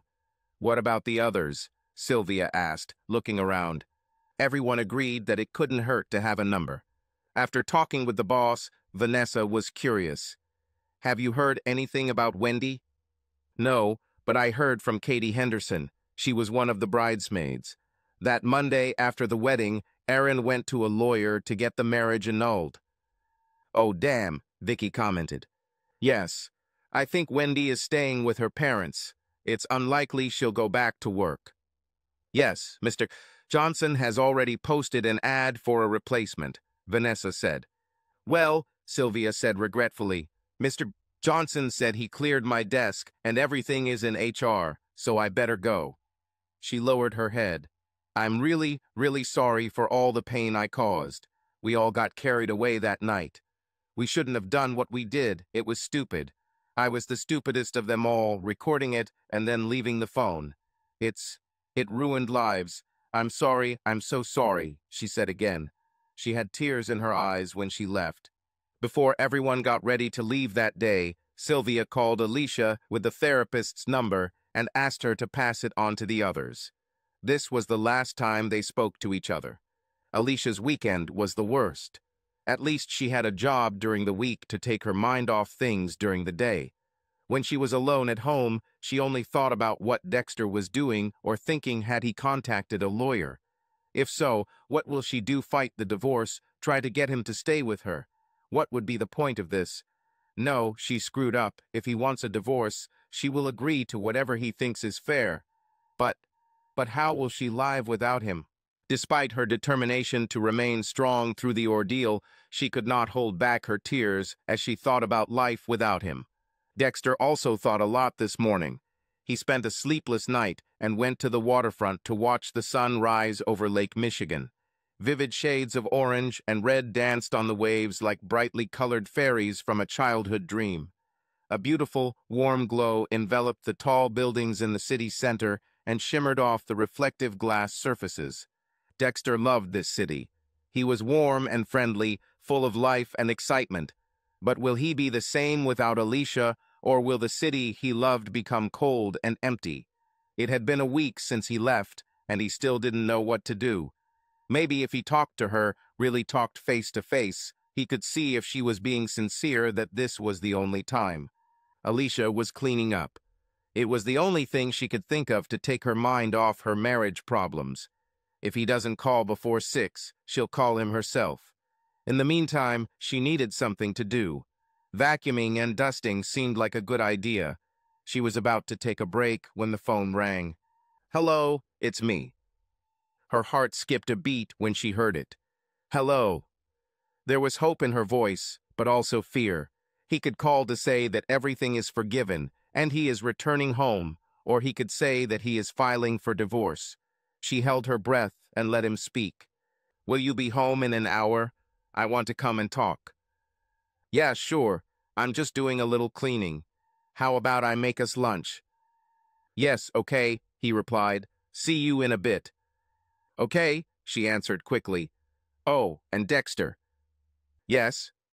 Just come in. It's still your home. Okay, see you soon, he said and hung up. Then Alicia realized what she looked like and quickly went to the shower. When Dexter walked through the door, she was fresh, clean, well-dressed, and lightly scented with his favorite perfume. Not that he really noticed, he had other thoughts. She poured coffee, and they sat down to dinner. There was little conversation until they finished. Alicia was on pins and needles. She also had something she wanted to talk about, but she would wait for him to speak first. I watched the video, at least part of it, enough to see that you really looked like you didn't know what to do until this guy took matters into his own hands. I, I can only imagine how hard it was to watch. I know you had to force yourself to watch it, and you have no idea how much I appreciate it. I'm so sorry I did that. I have no excuses. Dexter, I. She needed to catch her breath before she could continue. I cheated on you, but I swear that was the only time. She could literally see the doubts he still had. Are you sorry you did it, or are you sorry you got caught? he asked. No, no, I regret letting this happen. I knew better. I wasn't wrong about what I was doing. I knew I was cheating on you. I didn't mean to do it consciously. I, I just got caught up in all the fuss. And when the situation arose, I gave in. The only thing I regret about getting caught is that it hurts you. That phrase, I gave in, reminded him of all the times he was tempted but didn't give in. He was unaware of his expression as he wondered why his wife was not as resilient as he was. Did that mean she didn't love him as much as he loved her? Alicia could see the internal struggle on his face. She was sure that she would lose him without professional help. Dexter, would you agree to go to couples therapy with me? He thought for just a second. I don't know. What's the use of that? Dexter, I broke your heart, and I don't know how to put it back together. Or if it's even possible. I don't know, but I want to try, and I need someone trained to help. Please, she begged. I have the name of a therapist who is said to be very good. Please let me make an appointment. He didn't see how the therapist could calm him down if his wife couldn't, but if it was possible. Okay, he replied, but call me and tell me what times and dates are available before you make an exact appointment. I will, she said with some relief and hope. On Monday morning, when Meredith returned to work, it seemed like the old team was almost at full strength, so the five of them went to lunch together. It was the first time they had gone out together since their wedding, but it wasn't like before. There were no jokes, no laughter, not even sarcastic remarks. It was more like a support group. Once everyone was seated, Meredith started talking. She was outside the circle and knew nothing about what was happening. So, whose marriages survived? No, Mindy replied. Well, I'm not sure. I haven't heard from Mark since that night, but I think he'll ask for a divorce. Meredith was surprised and felt awkward asking such a question. Really? God, I, I'm sorry. I knew our husbands were angry, but I didn't think anyone would get a divorce. What? She was almost afraid to ask. What about the others? We all have problems, Alicia volunteered. I still don't know what's going to happen. Dexter is living in a motel. We talked over the weekend, and he agreed to couples therapy, so I'm still hopeful. Oh God, Liz, I'm so sorry. Meredith began to realize how devastating the situation was. What about you? Vicky asked, interfering in the conversation. Meredith's expression changed. Well, it's no secret that I have long suspected David of cheating. That night, after the wedding, he confessed. He admitted, Vanessa exclaimed. Meredith nodded her head slowly. Yeah, well, not right away. He started yelling at me as soon as we got in the car. Finally, when we got home, I was just so tired of it that I yelled back and asked, What about you? How many women are there? Did you get laid? I never had the courage to accuse him of anything before, so at first he was surprised. Then he got a guilty look on his face. Of course, Mindy put in, he knew he was caught. Yeah, he didn't even try to deny it. He asked how long I knew, and I said a long time. Then he asked why I never talked about it. What did you say? asked Alicia. I said I never told him because I still loved him and asked if he loved me. He said he did. We talked all night. I asked if he wanted freedom, if he wanted a divorce, but he said no. We both started crying and decided that we would try to repair our marriage. Vicky was the first to congratulate her, followed by the others. By the end of dinner, they were all aware of each other's marital problems. Two days later, Alicia called Dexter and offered three possible times and dates for his counseling appointment. She explained that the therapist wanted to spend an hour with each of them individually at first. She had already scheduled her appointment, so Dexter chose one of the suggested times and Alicia booked it. Dexter had no idea what to expect. He has never been to any therapist. Will there be his and her sofas there, he thought with a smile. When he got out of the car, a 77 was flying over the building. He looked up. It was huge and so close that he could almost count the rivets on its belly. He watched it cut through the sky, fly over the O'Hare fence, and land on the runway. He waited until a small cloud of smoke indicated that he had landed safely before turning and entering the building. Inside, he looked at the handwritten room number and headed towards number 319. The first thing he noticed was a carved wooden sign on the wall of the small reception area. The perfect marriage is two imperfect people who refuse to give in to each other. It was a pleasant statement and made him smile. Yes, sir, may I help you? asked the receptionist. Uh, yeah, I'm Dexter Samuelson. I have an appointment. Of course, Mr. Samuelson, let me let her know you're here. The young brunette pressed a button and announced his arrival. He heard the doctor's voice telling her to let him through. The doctor's name was Mrs. Angela Lindstrom. She was a rather simple woman in her early 30s. Dexter didn't like her way of communicating, but she seemed to know her stuff. At least the questions she asked were pointed and aimed at his problems. After the first hour, he may not have liked her, but he respected her. The second week was their first session together. Both knew it wouldn't be a walk in the park, but neither was prepared for Dr. Lindstrom's unconventional methods. She leaned back confidently in the leather chair. Mrs. Samuelson, you told me about your feelings in this situation, which you did not express to Mr. Samuelson because you thought it sounded selfish. I want you to tell him about those feelings now. Alicia was taken by surprise. Doctor, I told you this in confidence. I, I can't tell him this. It sounds terrible. I shouldn't even tell you this, she cried. Mrs. Samuelson, these are your feelings. The first thing you two need to do is open your hearts to each other. If you are not ready for this, then it will be a waste of time. Alicia couldn't look at him. She couldn't look him in the eye and say it, so she lowered her head and spoke quietly. I, uh, well, I my, uh, she sighed and exhaled. You hurt my feelings. I know how that sounds after what I did, but it's the truth. I love you. I know I screwed up, but I can't believe you think I cheated on you before. Emotions were already overwhelming her. They hadn't been there even ten minutes, and her eyes were already filled with tears. Are you kidding? Did I hurt your feelings? Well, forgive me for everything. God, you tore my heart out, and I hurt your feelings. He was almost ready to give up and forget about therapy and marriage, but Dr. Betty's Lindstrom anticipated his reaction and encouraged him to continue. Why don't you believe her when she says it was the only time? Because it's not only cheating, that's bad enough in itself, but she was sneaky dishonest. She knew this guy would be there.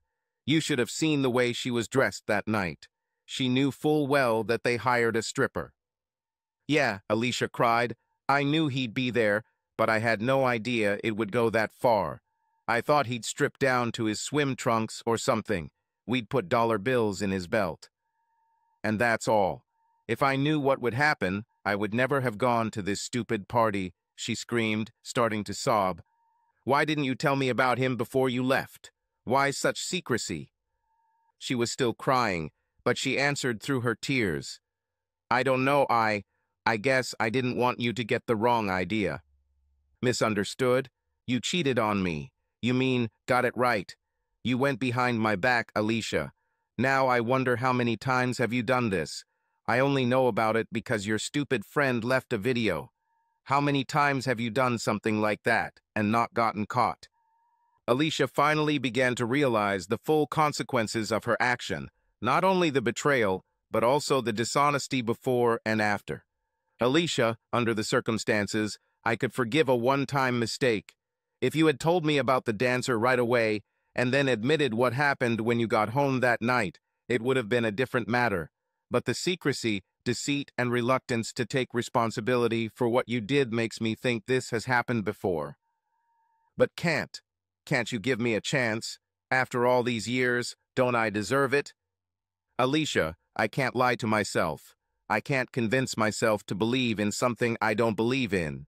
I've always considered you an honest man, a man with dignity, a man who would never cheat on me. But you showed me that I was wrong. Not only did you cheat, but you were dishonest. So now I'm wondering how long I've been wrong. Tears were almost streaming from her eyes. Her voice was weak. So there's no hope, right? How can I convince you? I, I can't, can I? For several minutes, the only sound in the doctor's office was Alicia's sobs. Yes, Mrs. Samuelson, there is hope. If it weren't for it, we wouldn't be sitting here. Mr. Samuelson, your wife, and I discussed something during her first visit. My colleagues think my approach is very radical, but I have achieved great results. Good luck with him. I discussed this with Mrs. Samuelson first because I needed to know how far she was willing to go to save her marriage, and I can tell she didn't even blink. It's not a quick fix. It doesn't happen. But if you stick with it, it can help restore your faith and trust in your wife in the long run. This sounded quite ominous to Dexter. What was she going to offer? An iron chastity belt. The first thing I want you to do is come home. She saw his look and immediately went into an explanation to prevent his objections. Mr. Samuelson, we need to restore some trust in your relationship. We can't do that if you sit in a motel room and wonder what your wife is doing, where she is, and who she is with. You need to know where she is, and to that's why you need to be at home. He didn't particularly like it, but it sounded logical. This brings us to the second part of the program, she continued, turning to Dexter. You will also go to the bank and remove your wife's name from all accounts and credit cards. You will sit down together and determine the minimum amount of money she needs for gas, food, and other small items and give it to her in the form of a weekly allowance. You will activate the GPS on her phone so you can track her location at any time of the day or night. Every day after work, she will give you a phone with a saved history so you can see who she communicated with during the day. Oh, that's ridiculous, Dexter said. I don't have to do all these things. Mr. Ducey Samuelson, you can keep coming here where we'll work on trust issues and maybe make some progress. But as soon as she stays 20 minutes late, you'll be back to wondering where she's been and we'll be back to square one. He looked at his crying wife. And is that okay with you? She simply nodded, wiping her nose with a handkerchief. He thought about it and reluctantly agreed. Okay, let's try. The next day was Friday. Although he paid for the room until Sunday, Dexter packed his bags in the morning and headed home after work. When he entered, he immediately smelled a pleasant smell from the kitchen. As he entered, something on the table caught his attention. It was Alicia's wallet and phone. There was also a detailed list of all her expenses, including her morning cup of coffee from Starbucks and her hair appointment every couple of weeks. Hello, she said, greeting him in a simple house dress. Although she didn't try to seduce him, he thought that would be the worst move for her. Something smells delicious. I stopped at that little fish store on the way home and bought red snapper. I cook it with almond sauce. It'll be ready in 30 minutes. What is all this? he asked, pointing to the things on the table. I thought we could discuss this after dinner, she replied. You really want to do this? It's like you're on parole, and I'm your inspector. That's right, I'm on parole, Dex. I committed a crime, I have to be punished, no matter how long it takes. No matter how long it takes for you to trust me again, she said. If I could only convince you that I have been a faithful, devoted wife all these years and ask for forgiveness for one of my sins, but I can't. You made that pretty clear in the doctor's office, and you're right. I understand why. You have so many doubts, and I don't blame you. That's why this seems like the next best step. We'll see, he muttered, turning around. I'm going to go take a shower, he said as he left. After a month of eating out, Dexter began to appreciate his wife's cooking skills again. The red snapper was delicious. After dinner, he and Alicia discussed the program outlined by the doctor. They found a GPS app for her phone that not only showed her location, but also stored a history by date. He liked this application. He obviously didn't intend to spend the entire day tracking her every move, but he could see where she was if he wanted. They worked out a weekly budget that still allowed her to go out to dinner, but the gas money was based on her gas mileage. She had enough money for gas to drive to work and to the store a couple times a week. That's all. Instead of removing her name from the credit cards, he simply collected all the plastic cards she carried. I'll put it in a safe deposit box, so if anything happens to me, you'll still have access to the money, he said. This was so typical of him. Silently, she sat and wondered why she didn't put him first like he always did for her. He always put her interests above his own, even now, she remembered that damn party. If she didn't consider her friends more important than her own husband, she would never have caused him such pain. She sighed internally. There was nothing to be done now. Nothing other than try to regain his trust. They discussed everything except sleeping arrangements. I, uh, I moved all my stuff into the other bedroom. She hoped that he would object and say that they would sleep together, but this did not happen. A flat-sounding, okay, was his only comment. I thought you'd want this, but if you'd rather sleep together, I'd. No, that's better, he said, not even letting her finish. She expected him to say this, but it still hurt to hear it. I have a couple hours of editing work to do, so is there anything else we haven't discussed? No, she replied. I think we're all done. Okay, then I'll be in the office. If you remember anything, let me know and with these words, he stood up from the table and disappeared around the corner. Alicia went into the living room and curled up with a book. If she strained too hard, she could hear him working in the other room. Even with all their problems, it was good just to know he was back in the house. She felt safe when he was around. On weekends, they lived like housemates, nothing more. On Monday morning, Alicia was sitting at her desk when Vanessa walked in. One look, and she knew something was clearly wrong. It was obvious that she was crying. In fact, she was still sobbing as she passed by. Vanessa, what happened? Oh, Liz, she sobbed, Terry wants a divorce. What, why? He, he knows, he knows about that party. How? He wasn't even at the reception. How did he know? asked Alicia. Mindy's husband, Mark, he's crazy. He's suing the dancer and the company he worked for. I was called to testify, she said, starting to cry again. Terry was at home on Friday when I received the summons. He started asking questions, and when I couldn't answer, he got angry and started making calls. She wiped her eyes again. By this time, she already had a small audience of other secretaries. I don't know who he called, but by Sunday, he had a copy of that damn video. She was sobbing and trying to catch her breath. I, I looked like such a damn bitch. She sobbed. Sorry, Mindy said, apologizing for her husband. I knew Mark was going against the dancer, but I never thought it would affect you. Now what's going on? It was Mr. Tertiu Johnson. He looked at Vanessa and saw that she was crying, but it was becoming increasingly difficult for him to sympathize. He had a business to run, and for the past month his secretaries had had one disaster after another. His patience was running out. I, I'm sorry, Mr. Bridges Johnson, Vanessa muttered. I'll be fine, girls, she said, turning back to her friends. Come on, we all have work to do. Mr. Getty Johnson turned and walked back to his office as the girls went to their places. He had no intention of interfering with his employees' problems, but something had to be done. They didn't know it yet, but this was the last day they could all discuss their problems over lunch. At about three o'clock, Mr. K. Johnson called everyone to a meeting. Once everyone had gathered, he set new rules. From now on, he informed them, lunch breaks would alternate every 15 minutes, starting at 11.30. He left it up to the girls to decide who would go when. Later in the week, Alicia and Dexter had a second therapy session with Dr. Tegensu Lindstrom. She asked the couple if they followed her recommendations, and they said yes.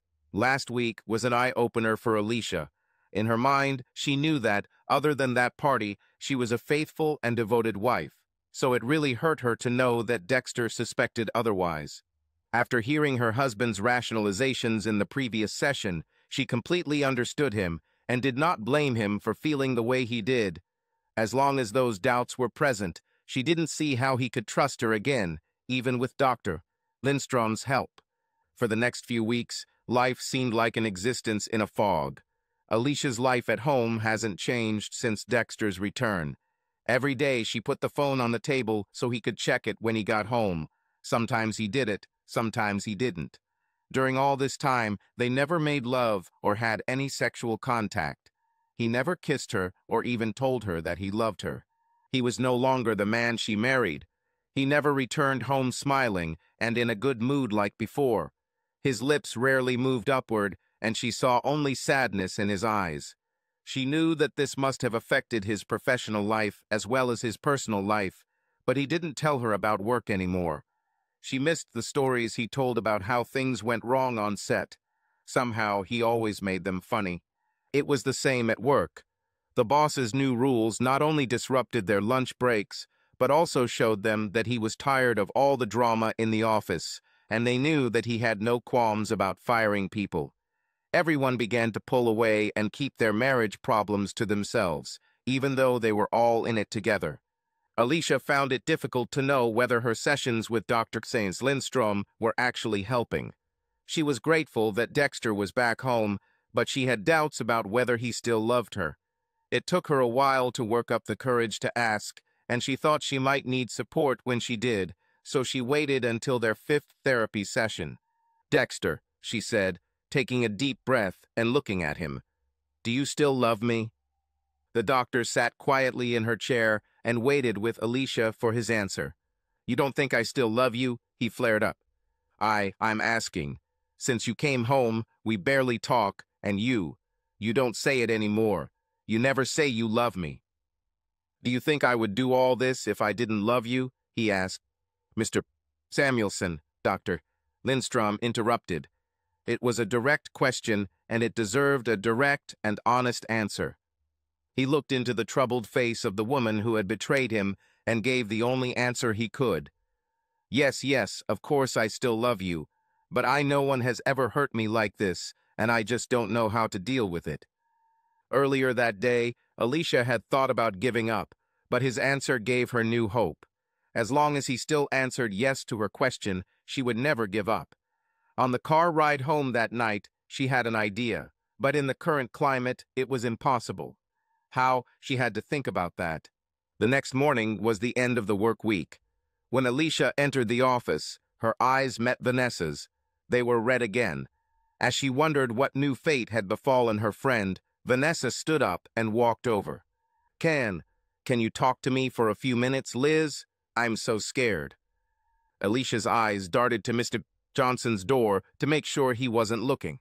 Don't worry, Mr. Q Johnson left for a meeting before 11. Vanessa said. Okay, Alicia replied. Let's go to the break room. They both took a cup of bad coffee from the machine and sat down at the small round table. Tears began to form in Vanessa's eyes. She took a deep breath and began to speak in a voice hoarse from crying. Liz, I'm so scared. I've never lived alone, and now I'm faced with being a single mother with two small dependent children. I do not know what to do. Did he really say he was getting a divorce? Maybe it's not too late. She noticed that her friend was slowly nodding her head. Oh, yes, he's already started everything, she replied. He moved out and rented an apartment. He has a lawyer and everything. Yesterday, I received the papers. Alicia reached out and took her hand. I'm so sorry, she said, trying to console her friend. He will probably have to pay alimony and child support. No child support, she told Alicia. I will receive child support, but the most I can get in this state is 25% of his gross income. I found this on the internet. This is the maximum, even with two children.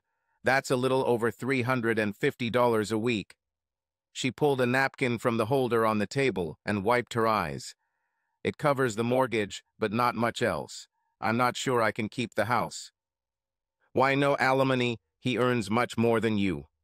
He doesn't offer any. I guess I could hire my own lawyer and fight him, but then I'd have to pay a lawyer. And they're not cheap, Liz. I called my brother to see what he thought, but he wasn't too happy either. He said that I could spend more on a lawyer than I would receive in alimony. She wiped her eyes again and continued, I, I think I'll just take what he offers. She closed her eyes as if she were praying. I just want him to come home, Liz. I know, honey, Alicia said, squeezing her hand in support. How? How do you and Dexter get along? Vanessa sobbed. I don't know it was hard.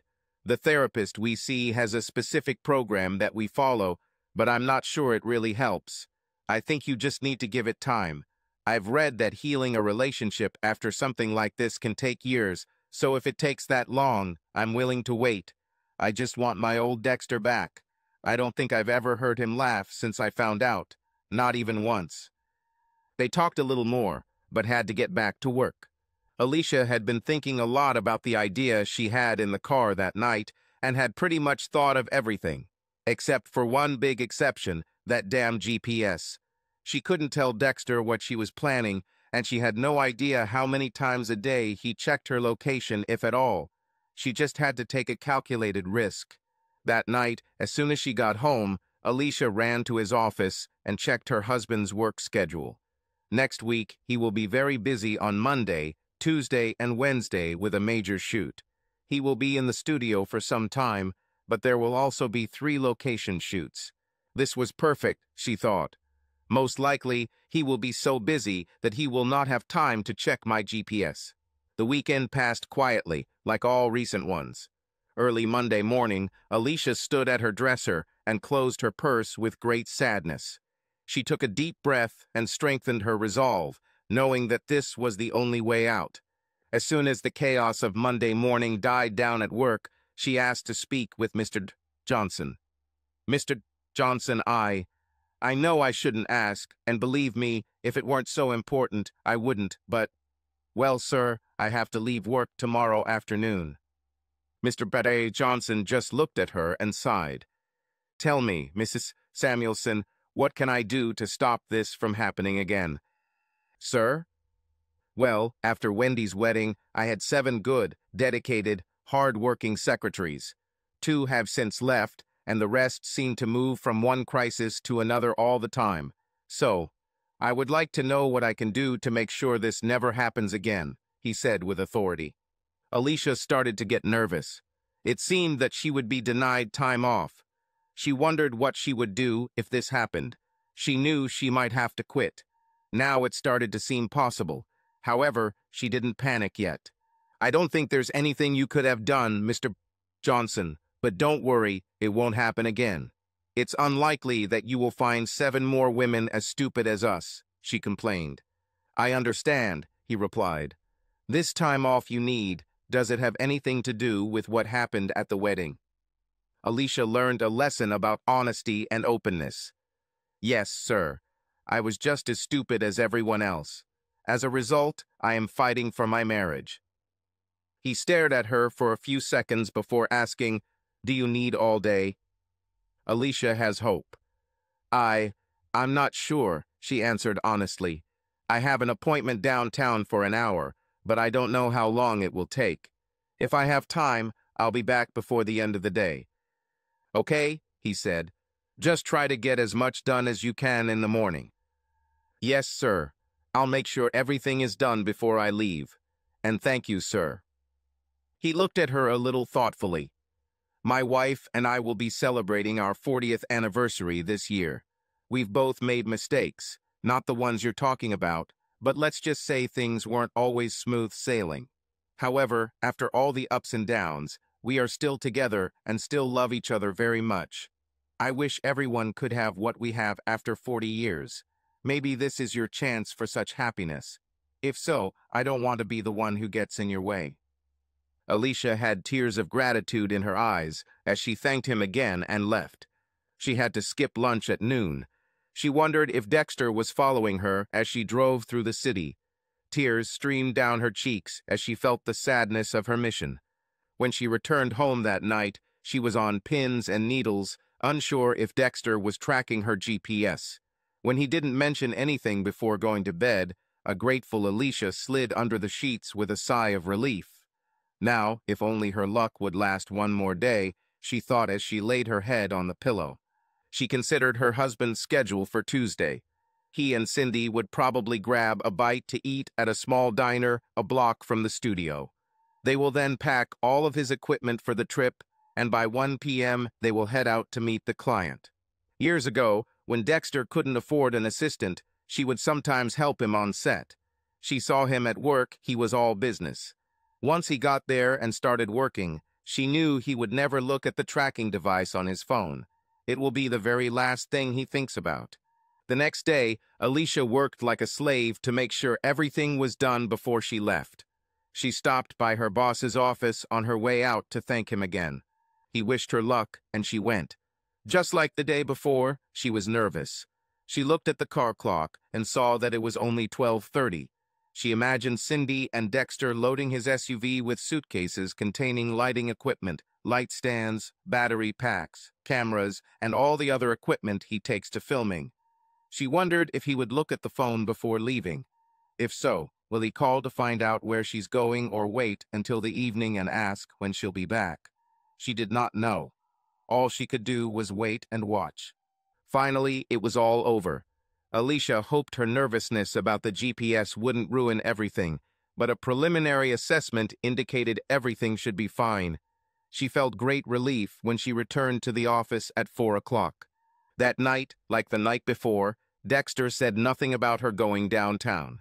For the first time since their wedding, Alicia fell asleep with a smile on her face. This should work was her last thought before drifting off to sleep.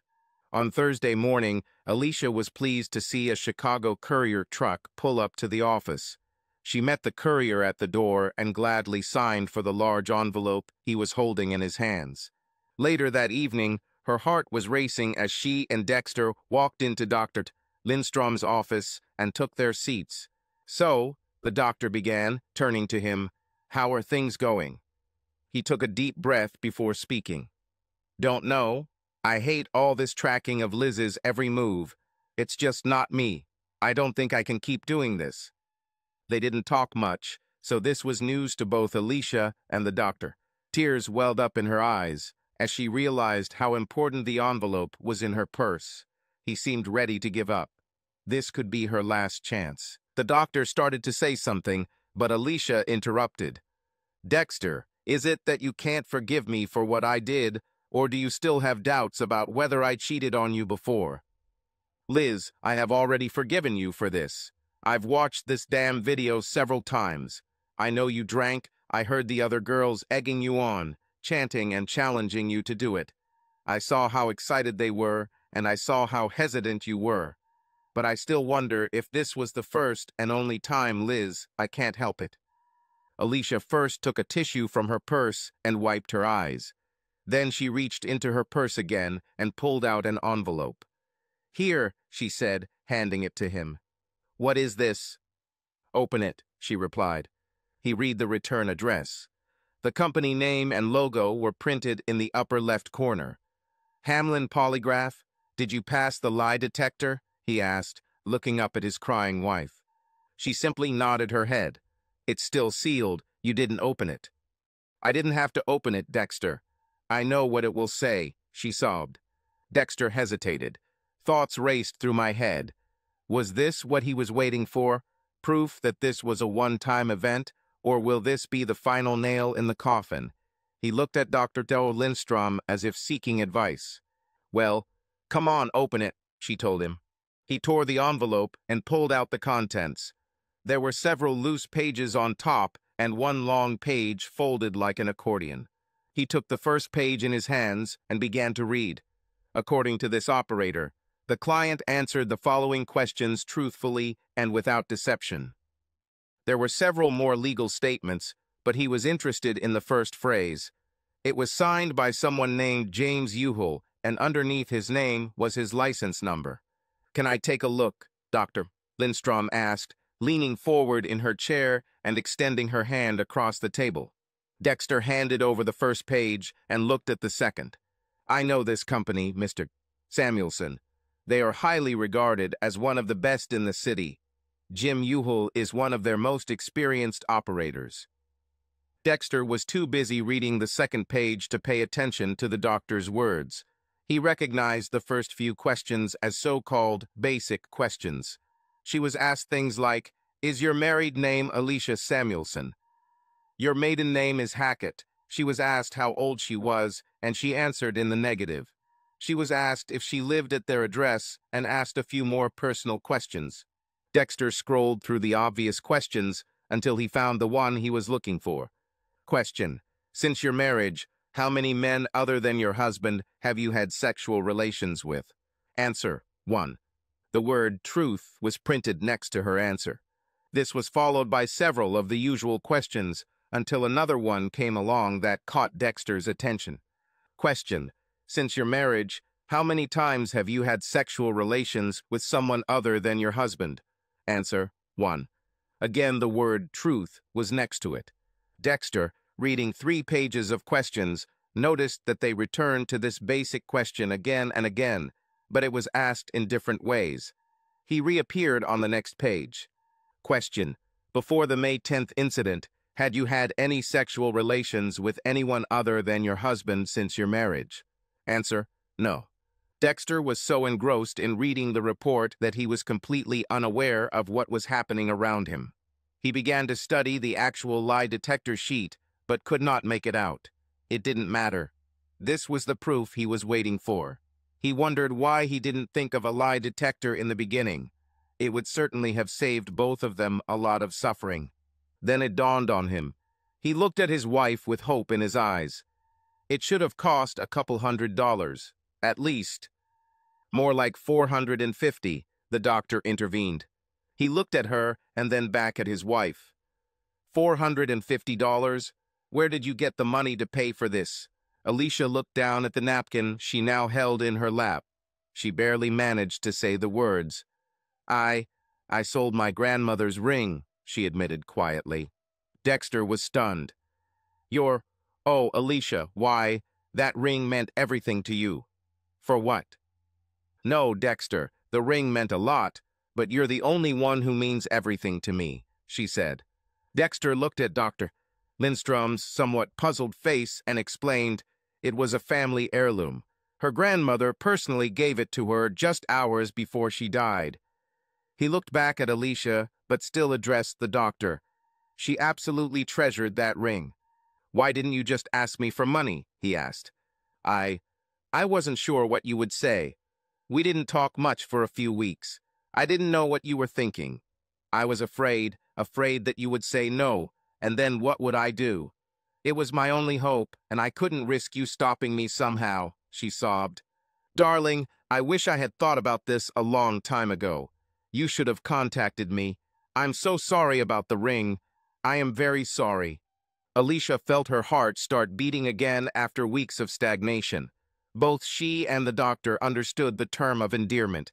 It was the first time in a long time that he had called her anything other than her name, and for the first time in weeks there was no anger in his voice. Selling her grandmother's ring was probably the hardest thing she had to do, but if it meant getting her husband back, it would be worth it. Alicia raised the wet wipe to her eyes again and wiped away the tears. Please forgive me, Dexter. I'm so sorry I hurt you. Between the video and the lie detector in his hands, Dexter was confident in his decision. We are all human, we all have weaknesses. Sometimes love is not only about never saying sorry, but also about forgiving. Selling her grandmother's ring was the most selfless act of true love he could imagine. Now it was his turn. He stood up from his chair, placed the papers on the corner of Dr. Lindstrom's desk, and walked over to his wife. Alicia saw love and forgiveness in his eyes. On weak knees, she rose to accept his embrace. Oh, my dear, he murmured as they embraced. Alicia wanted to tell him again how sorry she was, but she couldn't say a word between her sobs. She felt his strong hands stroking her back as her body shook with crying. Okay, okay, honey, everything will be okay, he said, trying to comfort her. He pulled away and placed his hands on either side of her face. He gently took her chin and raised her head to kiss her tenderly. I forgive you, darling. He grabbed her chin and lifted her head slightly to kiss her. Just don't ever do that again, he said with a slight smile.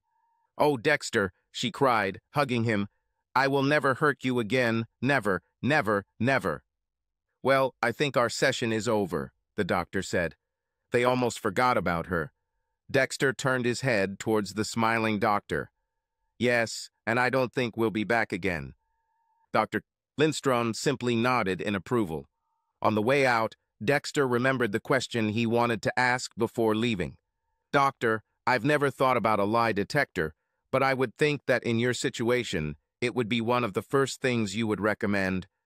In fact, the doctor said in a serious voice, if your wife had discussed this with me beforehand, I would have talked her out of it. Most people have something to hide. Even if it has nothing to do with cheating or their marriage, psychologically they wonder if a lie detector will reveal their deepest, darkest secrets. As a result, many people become very nervous and fail tests, even if they tell the truth. I've seen it backfire on them too many times. Alicia was still wiping her eyes when she looked at the doctor. Thank you for all your help, Dr. Lindstrom. The doctor smiled widely again. Please, Mrs. Samuelson, I wish you both nothing but happiness. In the car, Alicia tried to apologize again, but Dexter told her, That's enough, honey, enough. From here, we pick up the pieces and move on. I won't say it still doesn't hurt, but I know it wasn't intentional, and I now know it was the first and last time. When we get home, you will return your things to the bedroom. Alicia almost couldn't wait for Dexter to open the door before running upstairs and moving her things. It didn't take long. She was almost exhausted from running back and forth when she finished and found her forgiving husband in his office. Still a little apprehensive, she stood in the doorway and asked, Can, can I kiss you? You have to kiss me or the whole deal is off, he joked. For the first time in a long time, she saw his sense of humor. She literally jumped into his lap and wrapped her arms around his neck before kissing him passionately. God, I love you so much, she boasted, pressing her lips to his again. They hadn't even left each other yet when Dexter had already made up his mind editing be damned. Come on, he said, standing up and taking her hand. It's time to start picking up those pieces I've been talking about. This time, there will be no blindfolds, no role-playing games, no gymnastics in the bedroom. It's time for both to reaffirm their love for each other. When Alicia looked into his eyes, she saw no more anger or pain, only devotion. He leaned down and kissed her very tenderly on the lips. Instinctively, she lifted her chin so he could continue kissing her neck and face. They had gentle sex. As they both tried to regain normal breathing, they hugged silently. They knew that it was all over. The most difficult period of their lives was now in the past. It was official. Over the next week, things started to feel more normal. Cindy immediately noticed a change in her boss. He started having fun again. Dexter had truly forgiven his wife. Now she just needed to forgive herself. But still, there was one thing that worried him, one thing that still made him uneasy. Dexter was busy in the studio. He sent Cindy to get props for the upcoming shoot while he worked on a small stage that needed to be prepared for the background. He had just hammered in the final nail when he remembered the GPS. He dropped the hammer and took out his phone. Gotcha, he exclaimed out loud. There was not a second to think. He hurried to the desk in his office and wrote a note for Cindy. I'll be back soon, was all it said. He ran out to the car and went to the address he saw on the device. He wasn't sure what he would find when he got there, but he prayed he wouldn't be too late. Happy birthday, honey, Dexter said, handing Alicia a birthday card and kissing her afterwards. Mm. She purred as their lips parted. Thank you, darling. She smiled as she read the card. Her smile grew even wider when she read his handwritten note inside, saying that he was taking her to dinner and dancing. It was a wonderful evening. The dinner was delicious, and Dexter spun the birthday girl around the dance floor until she couldn't dance another step. Later that night, they enjoyed a glass of wine while cuddling in the privacy of their living room. It had been two months since they had last left Dr. Zeds Lindstrom's office. It's finally time for Dexter to explain everything. Alicia hugged her husband a little tighter. Thank you, darling. Tonight was perfect. Not really, he replied. The wounds of the past were still very fresh in her mind. Suddenly, Alicia pulled away to study his face. What do you mean? She looked worried. I haven't given you a present yet, he said, taking a small box from his pocket. Although it was slightly wrinkled from being in his pants, it was wearing a bright red bow. Alicia took it from his fingers and looked at him. Can I open it? Sure, unless you want to wait until Christmas, he laughed. When she took the lid off the box, her eyes widened and her mouth fell open. Her pulse began to quicken, and she took a deep breath. Darling, how? Where are you? Tears filled her beautiful blue eyes and rolled down her cheeks. She tenderly and reverently took her grandmother's ring from the box. I, I never thought I'd see that ring again. How did you find him? While I appreciate what you did, Dexter replied, I just couldn't accept that you had to give up something so precious to prove your love for me. Then I remembered that the GPS on my phone has a history. I've returned along routes you've only taken once. I knew it wasn't a hair salon or a restaurant, so I looked at the address. It was a pawn shop. This should have been where you sold the ring. And they still had it. After all this time? Well, not really, he said, a little embarrassed. I've had it for a while now. I actually got it just a few days after we got back together. I, uh, was going to give it to you right away, but... But you thought you needed to punish me a little more. I can't blame you for that, she said, wiping away tears of joy. Yeah, well, your birthday was just a couple of months away. I thought it would be a good time for a gift. Oh God, darling, I swear. I swear on this ring that I will be the most faithful and loving wife a man could dream of, she sobbed, hugging him and showering him with kisses. Never has one party brought so much destruction to so many people's lives, at least not in this city. Vicky thought she was lucky. Her husband never had much of a temperament, and other than the silent treatment, she didn't think that her little incident with sex would cause big problems in their marriage. She was wrong. Over time, her husband became more and more estranged. He lost interest in sex in her and in their marriage. He eventually found another woman and divorced Vicky. He never liked confrontation, but when it was all over, Vicky looked back and realized that their problems began on that fateful day in May. Mindy's husband, Mark, was forced to drop his lawsuit against the company, but managed to get the dancer fired. He considered it a small victory. The divorce battle lasted for months. Mark hired an experienced lawyer and went on the offensive. In an attempt to gain full custody of their four-year-old son, he tried to declare Mindy an unfit mother. Mindy was fighting for her existence. In the end, she was able to avoid being charged with unfitness and was awarded custody of their son along with a small amount of child support, but not much more. Sylvia and Manny are still fighting. They spent more than two years in counseling and went through three therapists. They are still together, but the marriage is not the same as it used to be. Manny would never fully trust his wife again and subjected her to repeated interrogations. Every day she regrets pulling down the dancer's thong. Now she prays every day that Manny will truly forgive her, but it doesn't look like that will happen anytime soon. Meredith and David were able to fix everything. After each found out about the other's infidelity, they actually talked to each other for the first time in years. Both discovered that there was still a smoldering spark in their marriage and made efforts to fan the flames. They promised each other not to cheat or take each other for granted anymore, but to work on their relationship. So far, so good. Vanessa was out of luck. Terry hated all the travel he had to do for work.